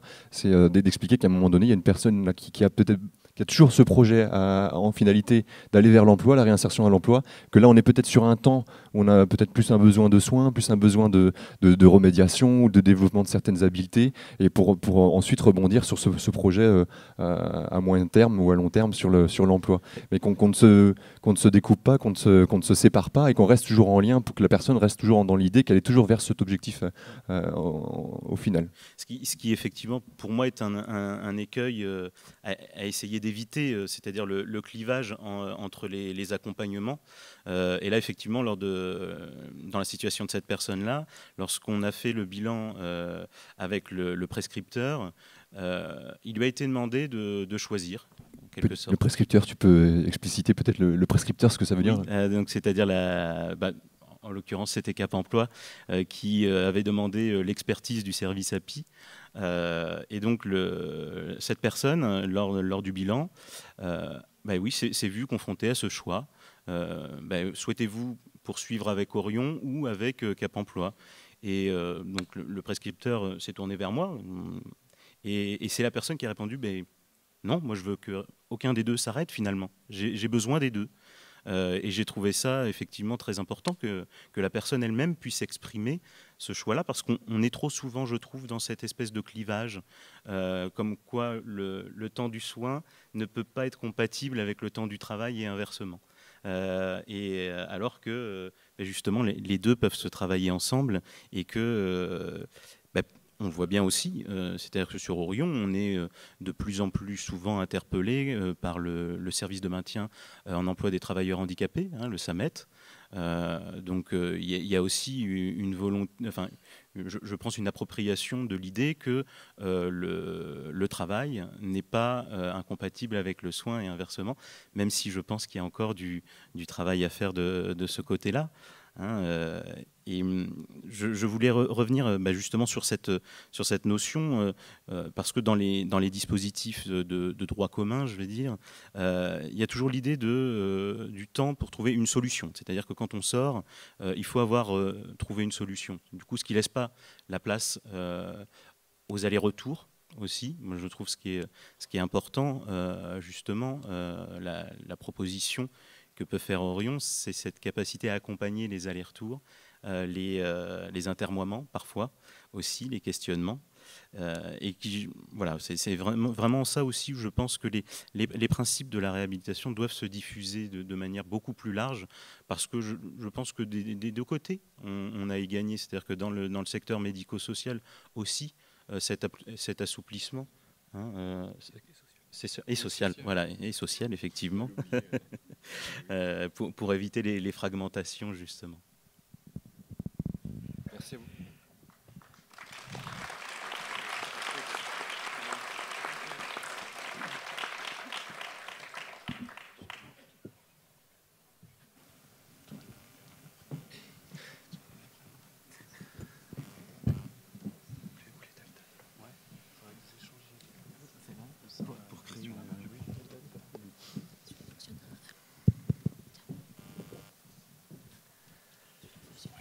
Merci pour euh, cette présentation. Moi, je m'interrogeais sur, euh, euh, dans votre dispositif, est-ce que vous faites intervenir le milieu associatif aussi, éventuellement pour offrir une alternative à l'insertion professionnelle, dans la mesure où nous, dans, dans l'enquête qu'on a faite plusieurs années après euh, la remédiation, il y avait un certain nombre de patients qui finalement n'avaient pas opté pour le milieu professionnel, mais avaient opté pour le milieu associatif, pour donner du temps. Euh, euh, et, à mon sens, c'est dans la réalisation de soi aussi, et c'est dans la production, quelque part. Je voulais savoir quelle était votre position par rapport à ça Oui, ben, effectivement, on travaille euh, la, notion du travail, mais parfois aussi du, non-travail, en tout cas, euh, non-travail salarié. Euh, c'est-à-dire aussi dans cette idée que l'investissement associatif peut être aussi une richesse qui peut peut-être plus tard, à plus long terme, conduire vers le, vers le, milieu de travail salarié, ou pas d'ailleurs. c'est parfois le, choix des gens que de continuer justement à faire de leur activité principale l'activité. Et, est-ce que vous l'avez introduite concrètement? Parce que en parler, c'est une chose, mais parfois avec les patients, il y a vraiment besoin d'une incarnation, de choses extrêmement euh, pratiques. Oui, il y, a, du travail en réseau qui, est effectué aussi par ailleurs euh, en dehors de, ce focus que l'on vient faire sur le, sur le, professionnel, sur l'insertion professionnelle. Vraiment, il n'y a pas que l'insertion professionnelle, bien sûr. Pourquoi pas l'insertion sociale plus largement, donc au milieu associatif, pourquoi pas. Euh, c'est très singulier à la situation des personnes qui nous sont euh, exprimées et les besoins d'aide qui nous seront exprimés, mais bien sûr, on accompagne vers cette dynamique-là. Si c'est le désir de la personne d'aller intégrer le tissu associatif, pourquoi pas. Il y a des accompagnements. aussi, le besoin est vraiment exprimé. Il n'y a rien de conventionné à proprement parler. On fait un travail de réseau en amont. on vient découvrir qui existe en termes de tissu associatif éventuel, que ce soit sur la santé euh, euh, mentale ou plus largement dans le, droit commun, comme tu pouvais dire, au niveau associatif plus largement. Mais euh, dans un exercice où on apprend à, se faire connaître, qu'est-ce qu'on fait à Orion? Et puis inversement, en invitant ou en participant aux portes ouvertes du tissu associatif local, bien sûr, il y, a un travail qui est fait de ce côté-là. Oui.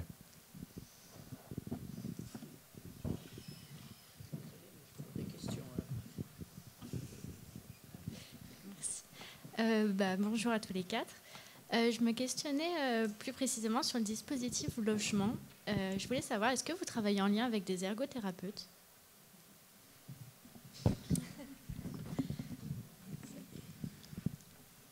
Non.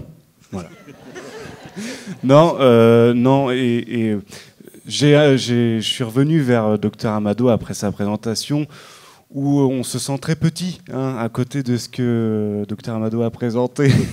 Nous, euh, il reste beaucoup de choses à faire. Euh, et bien sûr, oui, c'est en piste euh, de réflexion, en effet. Vous avez tout à fait raison de le souligner. Ce serait très bien qu'on complète notre équipe avec une ergothérapeute ou un ergothérapeute d'ailleurs. Est-ce que du coup, actuellement, comment vous faites pour... Est-ce que vous utilisez des, hum, des outils pour évaluer en fait l'autonomie de la personne au quotidien et la capacité qu'elle a à réaliser ses actes de vie quotidienne alors en outil, on utilise en fait pour le moment la grille EAS, euh, c'est la grille euh, d'évaluation de l'autonomie euh, sociale faite par Dr Leguet. alors fonctionnel, on n'en a pas tant, et ça c'est fort dommage aussi. Alors à la base d'ailleurs, quand on a commencé à, travailler ensemble du TIA, c'était l'idée qu'on ait un outil d'évaluation de l'autonomie. Et finalement, on s'est rendu compte que nous, ce qu'on avait besoin entre le médico-social, le social et le médical, c'était des transmissions claires sur l'autonomie de l'usager. Donc, euh, pour l'évaluation vraiment euh, pragmatique, euh, vraiment, nous, on s'appuie sur l'EAS, mais on n'a pas de grille à cocher, si c'est ça votre question. Si je réponds bien à votre question, c'est ça l'évaluation passe par l'EAS en tout cas. Je voudrais juste euh, préciser, je suis là. Voilà, je suis infirmière sur euh, le Sésame. Euh, il y a des ergothérapeutes qui sont intégrés aux équipes soignantes sur les CMP, les CATTP, par ailleurs, qui sont assez complémentaires, on, dirait, on dira, du, dispositif logement, qui travaillent en AOGD, donc en accompagnement à, et à l'organisation et à la gestion du domicile, qui fait ce travail d'évaluation, justement sur certains secteurs uniquement, effectivement, il faut le préciser. Euh, mais il y a effectivement des ergothérapeutes quand même euh, sur certains secteurs qui accompagnent, en lien avec, euh, avec ce travail que vous faites, hein, parce que ça fait partie du, travail partenarial qu'on entreprend, notamment avec les, les, appartements Croix-Marine. Voilà. Tu as tout à fait raison de le souligner. Je n'ai peut-être pas été clair, en tout cas, dans l'équipe Rochefort, on n'a pas d'ergo. Mais en effet, euh, étant donné qu'on est une structure intersectorielle, on s'appuie aussi sur les équipes secteurs. Euh, et là-dessus, voilà, il n'y en a pas partout non plus des ergothérapeutes. Il y en a à Loire il y en a à Men B, Men A, je crois. Euh, mais voilà. Voilà, c'est pour ça c'est intéressant quand même dans notre équipe d'en intégrer une. Oui, ça serait peut-être intéressant. Oui, alors j'ai deux, petites questions concernant Roche-Loire. J'ai peut-être pas que je que que je n'avais pas comprise. Euh, bon, vous avez parlé longuement de votre partenariat, enfin de votre travail. avec cette résidence accueil. Bien. Alors, première question, je me suis un petit peu étonné que quelqu'un qui, veuille, qui soit dans la recherche d'un hébergement, d'un logement, est-ce qu'il est, nécessaire de l'hospitaliser à temps complet? C'est la première question. Attendez, j'en ai une autre. Qui première question qui m'a interpellé. Ah bon. Deuxième question, est-ce que pour... Euh, euh, je ne sais pas quel est le mode d'admission dans votre résidence accueil. Est-ce que pour être intégré et trouver une place dans votre résidence accueil, finalement, il faut, pas obligatoirement, mais de façon préférable, passer par cette hospitalisation et par le système Rochelois, ou est-ce que vous avez des candidats qui viennent de l'extérieur sans passer par Rochelois? Vous ce que je veux dire?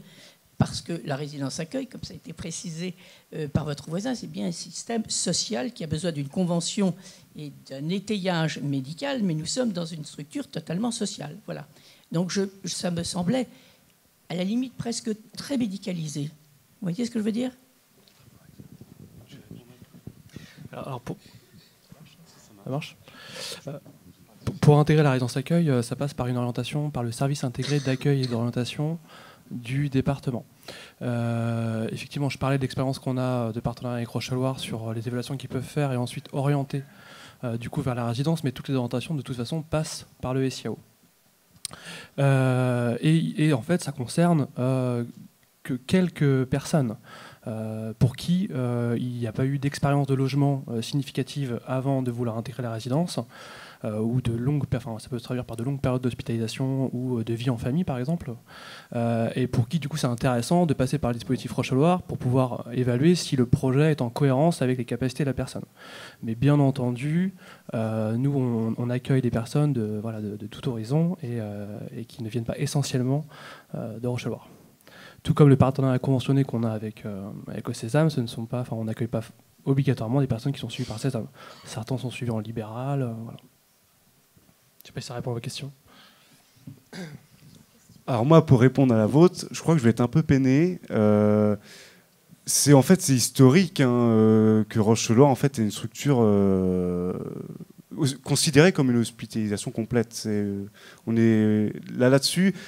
Je pourrais, j'ai bien peur que ça dépasse en fait mes, compétences pour vous expliquer le pourquoi du comment c'est hospice complète je me tourne vers docteur Bertrand, peut-être, excusez-moi, pour répondre à la question en fait de, Madame autour de l'hospitalisation complète du, de Rochefort. Peut-être que vous, vous pourrez. Euh, en fait, je pense que c'est très euh, statutaire. Finalement, c'est pour la prise en charge, mais enfin, ça n'a rien à voir avec une hospitalisation complète euh, au niveau de l'hôpital. Hein.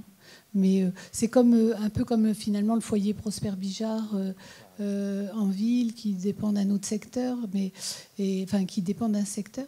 Et euh, euh, voilà, on, le compte pour la, sécurité sociale, c'est compté comme de l'hospitalisation à temps complet parce que aussi il y a des, des soignants jour et nuit qui sont là pour accompagner, mais c'est extrêmement ouvert et il faut aller voir, mais ça ressemble en rien à un hôpital, enfin tel qu'on on imagine un hôpital c'est vraiment euh, la, question de la prise en charge, je pense. Bah, c'est ça, J'ai une question sur euh, l'insertion professionnelle, peut-être à M. Poupard plus précisément.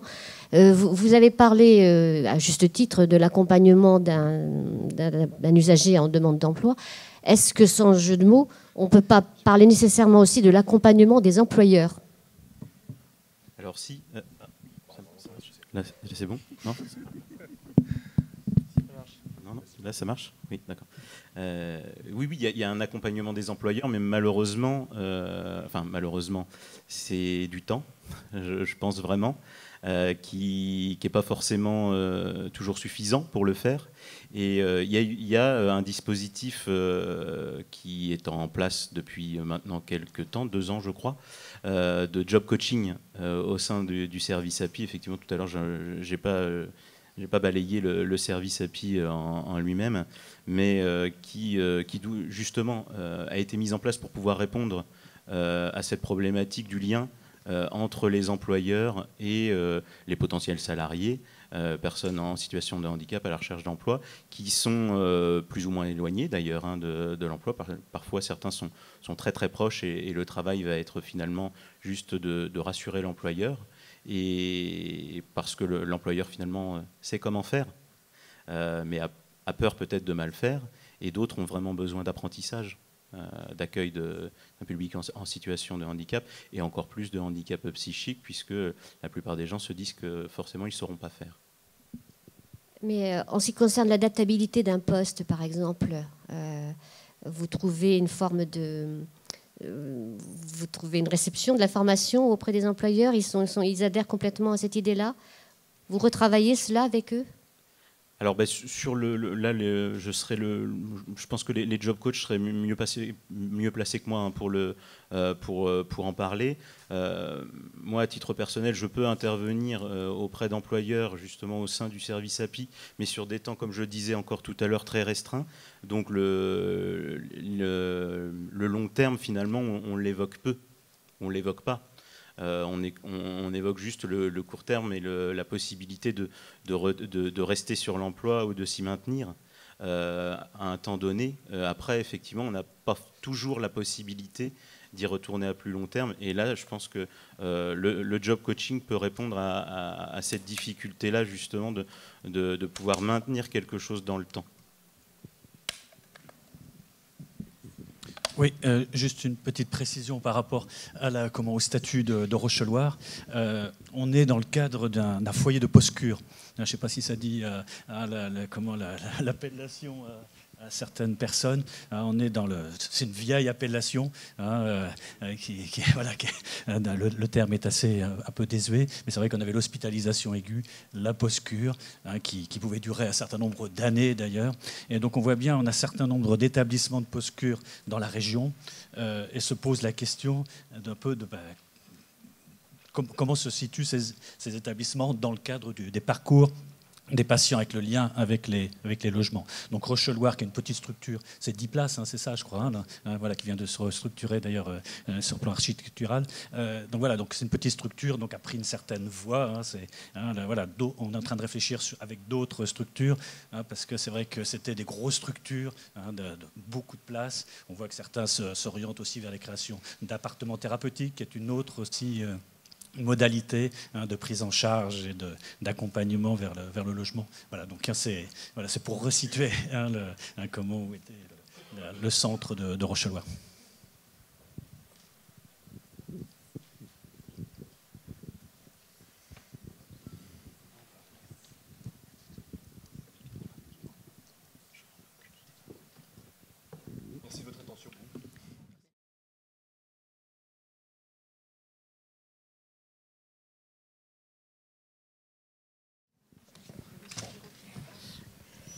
Euh, bon, bah alors, euh, euh, on m'a demandé un peu au pied levé là de, de, dire quelques mots de conclusion. Moi, j'ai été frappée par la, la, la, diversité des dispositifs que vous avez mis en place et la, en même temps la richesse des parcours qu'on peut imaginer avec euh, cette diversité de dispositifs. Et je trouve que euh, ce que vous avez installé va vous permettre véritablement de, euh, de, travailler la singularité de manière évidente, puisque finalement, ces, ces, dispositifs vont vous donner la flexibilité que vous allez pouvoir imaginer pour chacun. Euh, et euh, l'autre chose, euh, c'est dans la cartographie là, du, de la région, finalement toutes les forces vives qui sont déjà là en présence et à qui il manque pas grand-chose dans ceux qui ont les, les, les, plus petits triangles là pour étoffer leur méthode, étoffer euh, euh, leurs pratiques pour pouvoir se coordonner. Je pense que maintenant, il y a le temps qui va bientôt arriver qui va être un temps de coordination et comment vous allez mettre en lien régulier ces, différents lieux où la réhabilitation est déjà en marche. Et le troisième point que euh, j'ai repéré et qui m'a semblé vraiment très original, c'est l'alliance forte avec la médecine du travail. Euh, et je pense que ça, euh, ça peut être quelque chose qui est... là, vous pourriez carrément être leader finalement, parce que ça peut être un nouveau moyen d'appréhender euh, l'insertion au travail euh, avec euh, peut-être, pourquoi pas, imaginer une demi-journée ou chaque année où, il y aurait comme ça des médecins du travail qui pourraient être conviés pour réfléchir ensemble sur une meilleure intégration, sur des ouvertures, sur des possibilités. Euh, parce que c'est vrai que euh, bah, nous, on a, jeté les fondements, on a les méthodes, mais euh, après, il faut qu'il y ait aussi que, les entreprises puissent venir voir ce qu'on est en train de faire et qu'on puisse donner envie aux, aux, entreprises d'élargir les possibilités. Et là, avec l'interne qui vient de la médecine du travail, c'est une, passerelle vraiment ouverte. Enfin, enfin moi, c'est ce qui, ce qui m'apparaît évident. Euh, voilà, c'était euh, les points euh, que je trouvais vraiment très intéressants et, et, bravo pour cette richesse. Quoi. Merci Isabelle. Euh, merci. Euh, bah, je, tenais à remercier l'ensemble des intervenants. Effectivement, euh, je te rejoins sur la, richesse et le, constat qui est surtout que dans notre région, il y a de nombreuses initiatives, il y a de nombreux terreaux dans lesquels le développement des soins et des accompagnements en réhabilitation psychosociale sont déjà initiés. Euh, moi, ce que j'ai pu retenir de cette journée, c'était euh, à la fois euh, que, certes, il va être nécessaire de permettre à un maximum de structures, de structures de proximité, de structures au sein des secteurs, de développer des outils de soins, de voir des petits triangles qui deviennent des gros triangles, des petits carrés qui deviennent des gros carrés. Mais, et c'est vraiment ce qui ressort de cette journée, c'est que tout ça, ça n'aura du sens que si euh, on développe euh, ce type de soins dans une intention de toujours ce fameux transfert en vie quotidienne. Et ce transfert en vie quotidienne, il ne peut pas se faire sans les acteurs de l'accompagnement, les acteurs de la vraie vie, euh, des vrais des gens, c'est-à-dire des, des, projets. Et ça, c'est évidemment avec le développement non seulement des outils de soins, mais aussi des outils de partenariat, de co-construction avec, euh, euh, avec le champ de l'insertion, avec le champ du logement. Donc euh, on voit bien à quel point on ne pourra pas faire sans l'un ni sans l'autre. C'est-à-dire que faire que de l'accompagnement, si on n'a pas d'outils de soins concrets, performants, qui permettent d'améliorer les compétences des gens sur le plan purement fonctionnel, ça sera probablement il y aura des manques. Et inversement, développer des soins, si on ne développe pas ce type de partenariat, ce sera également euh, des manques euh, importants, d'où euh, l'intention de complémentarité entre des, une, identité autour du, du, euh, très technique euh, de, soins, euh, de soins d'outils de, soins de réhabilitation, remédiation cognitive, et d'une intention de, de, réseau et d'intensifier, de densifier le réseau et inventons des nouveaux partenariats, comment faire des concertations avec les différents acteurs comment préparer les patients en, amont et, comment les accompagner pendant. C'est-à-dire que je pense que plus il y aura de tissage serré avant, pendant et tout au long du parcours des gens, plus on sera bon. Quoi. Voilà. Je vous remercie.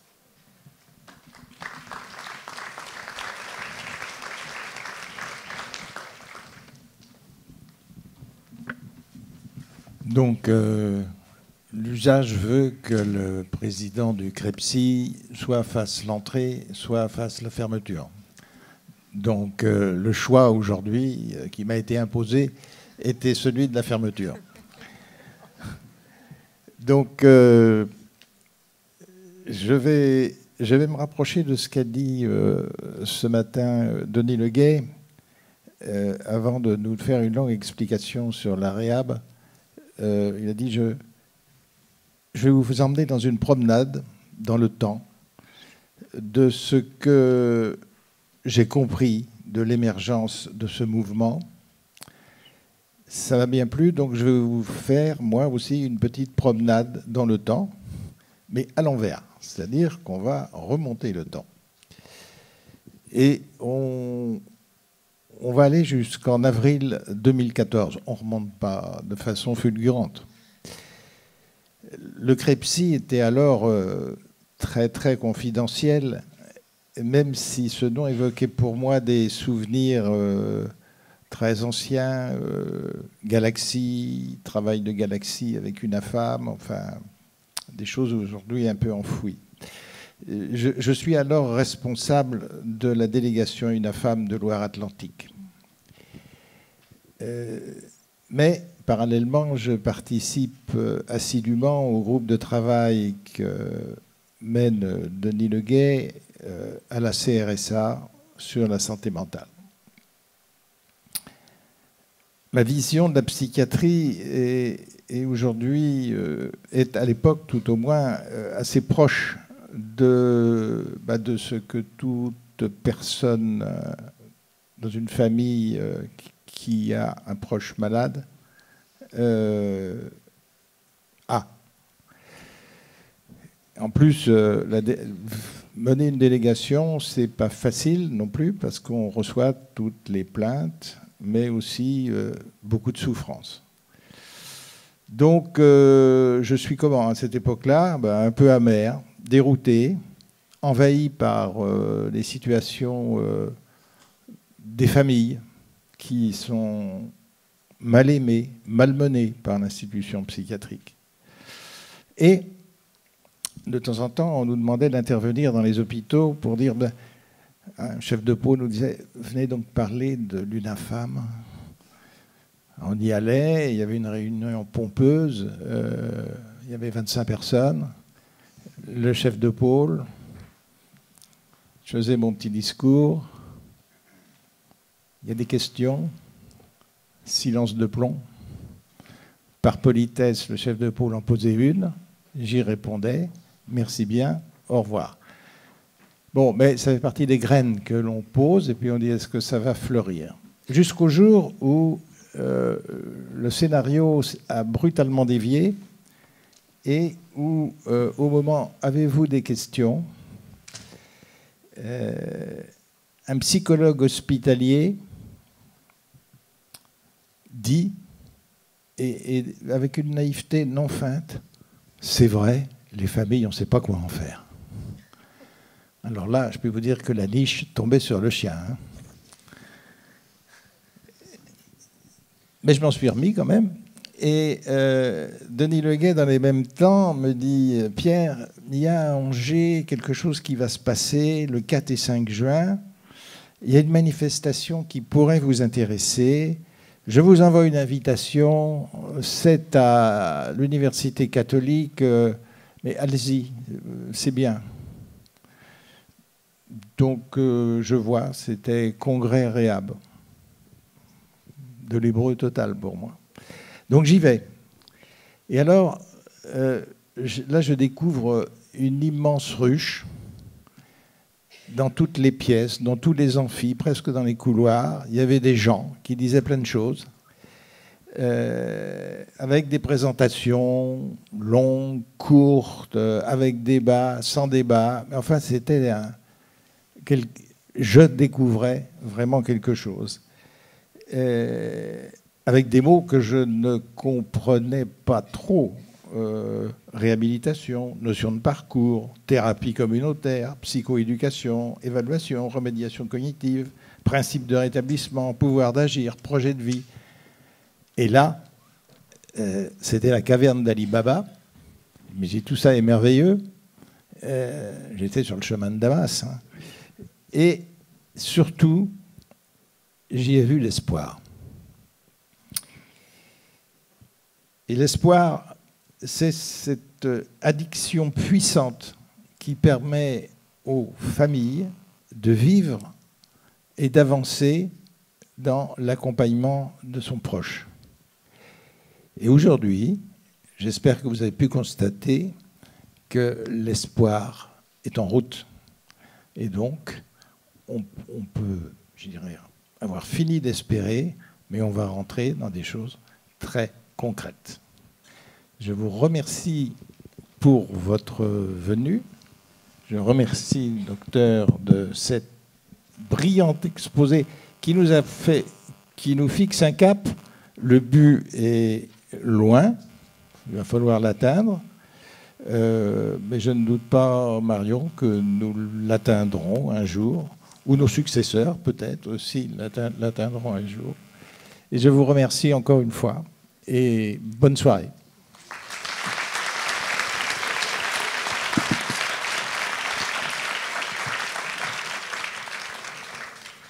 Euh, je vous demande de penser au questionnaire d'évaluation et puis juste euh, un mot en complément de ce que vient de dire Monsieur Giraud.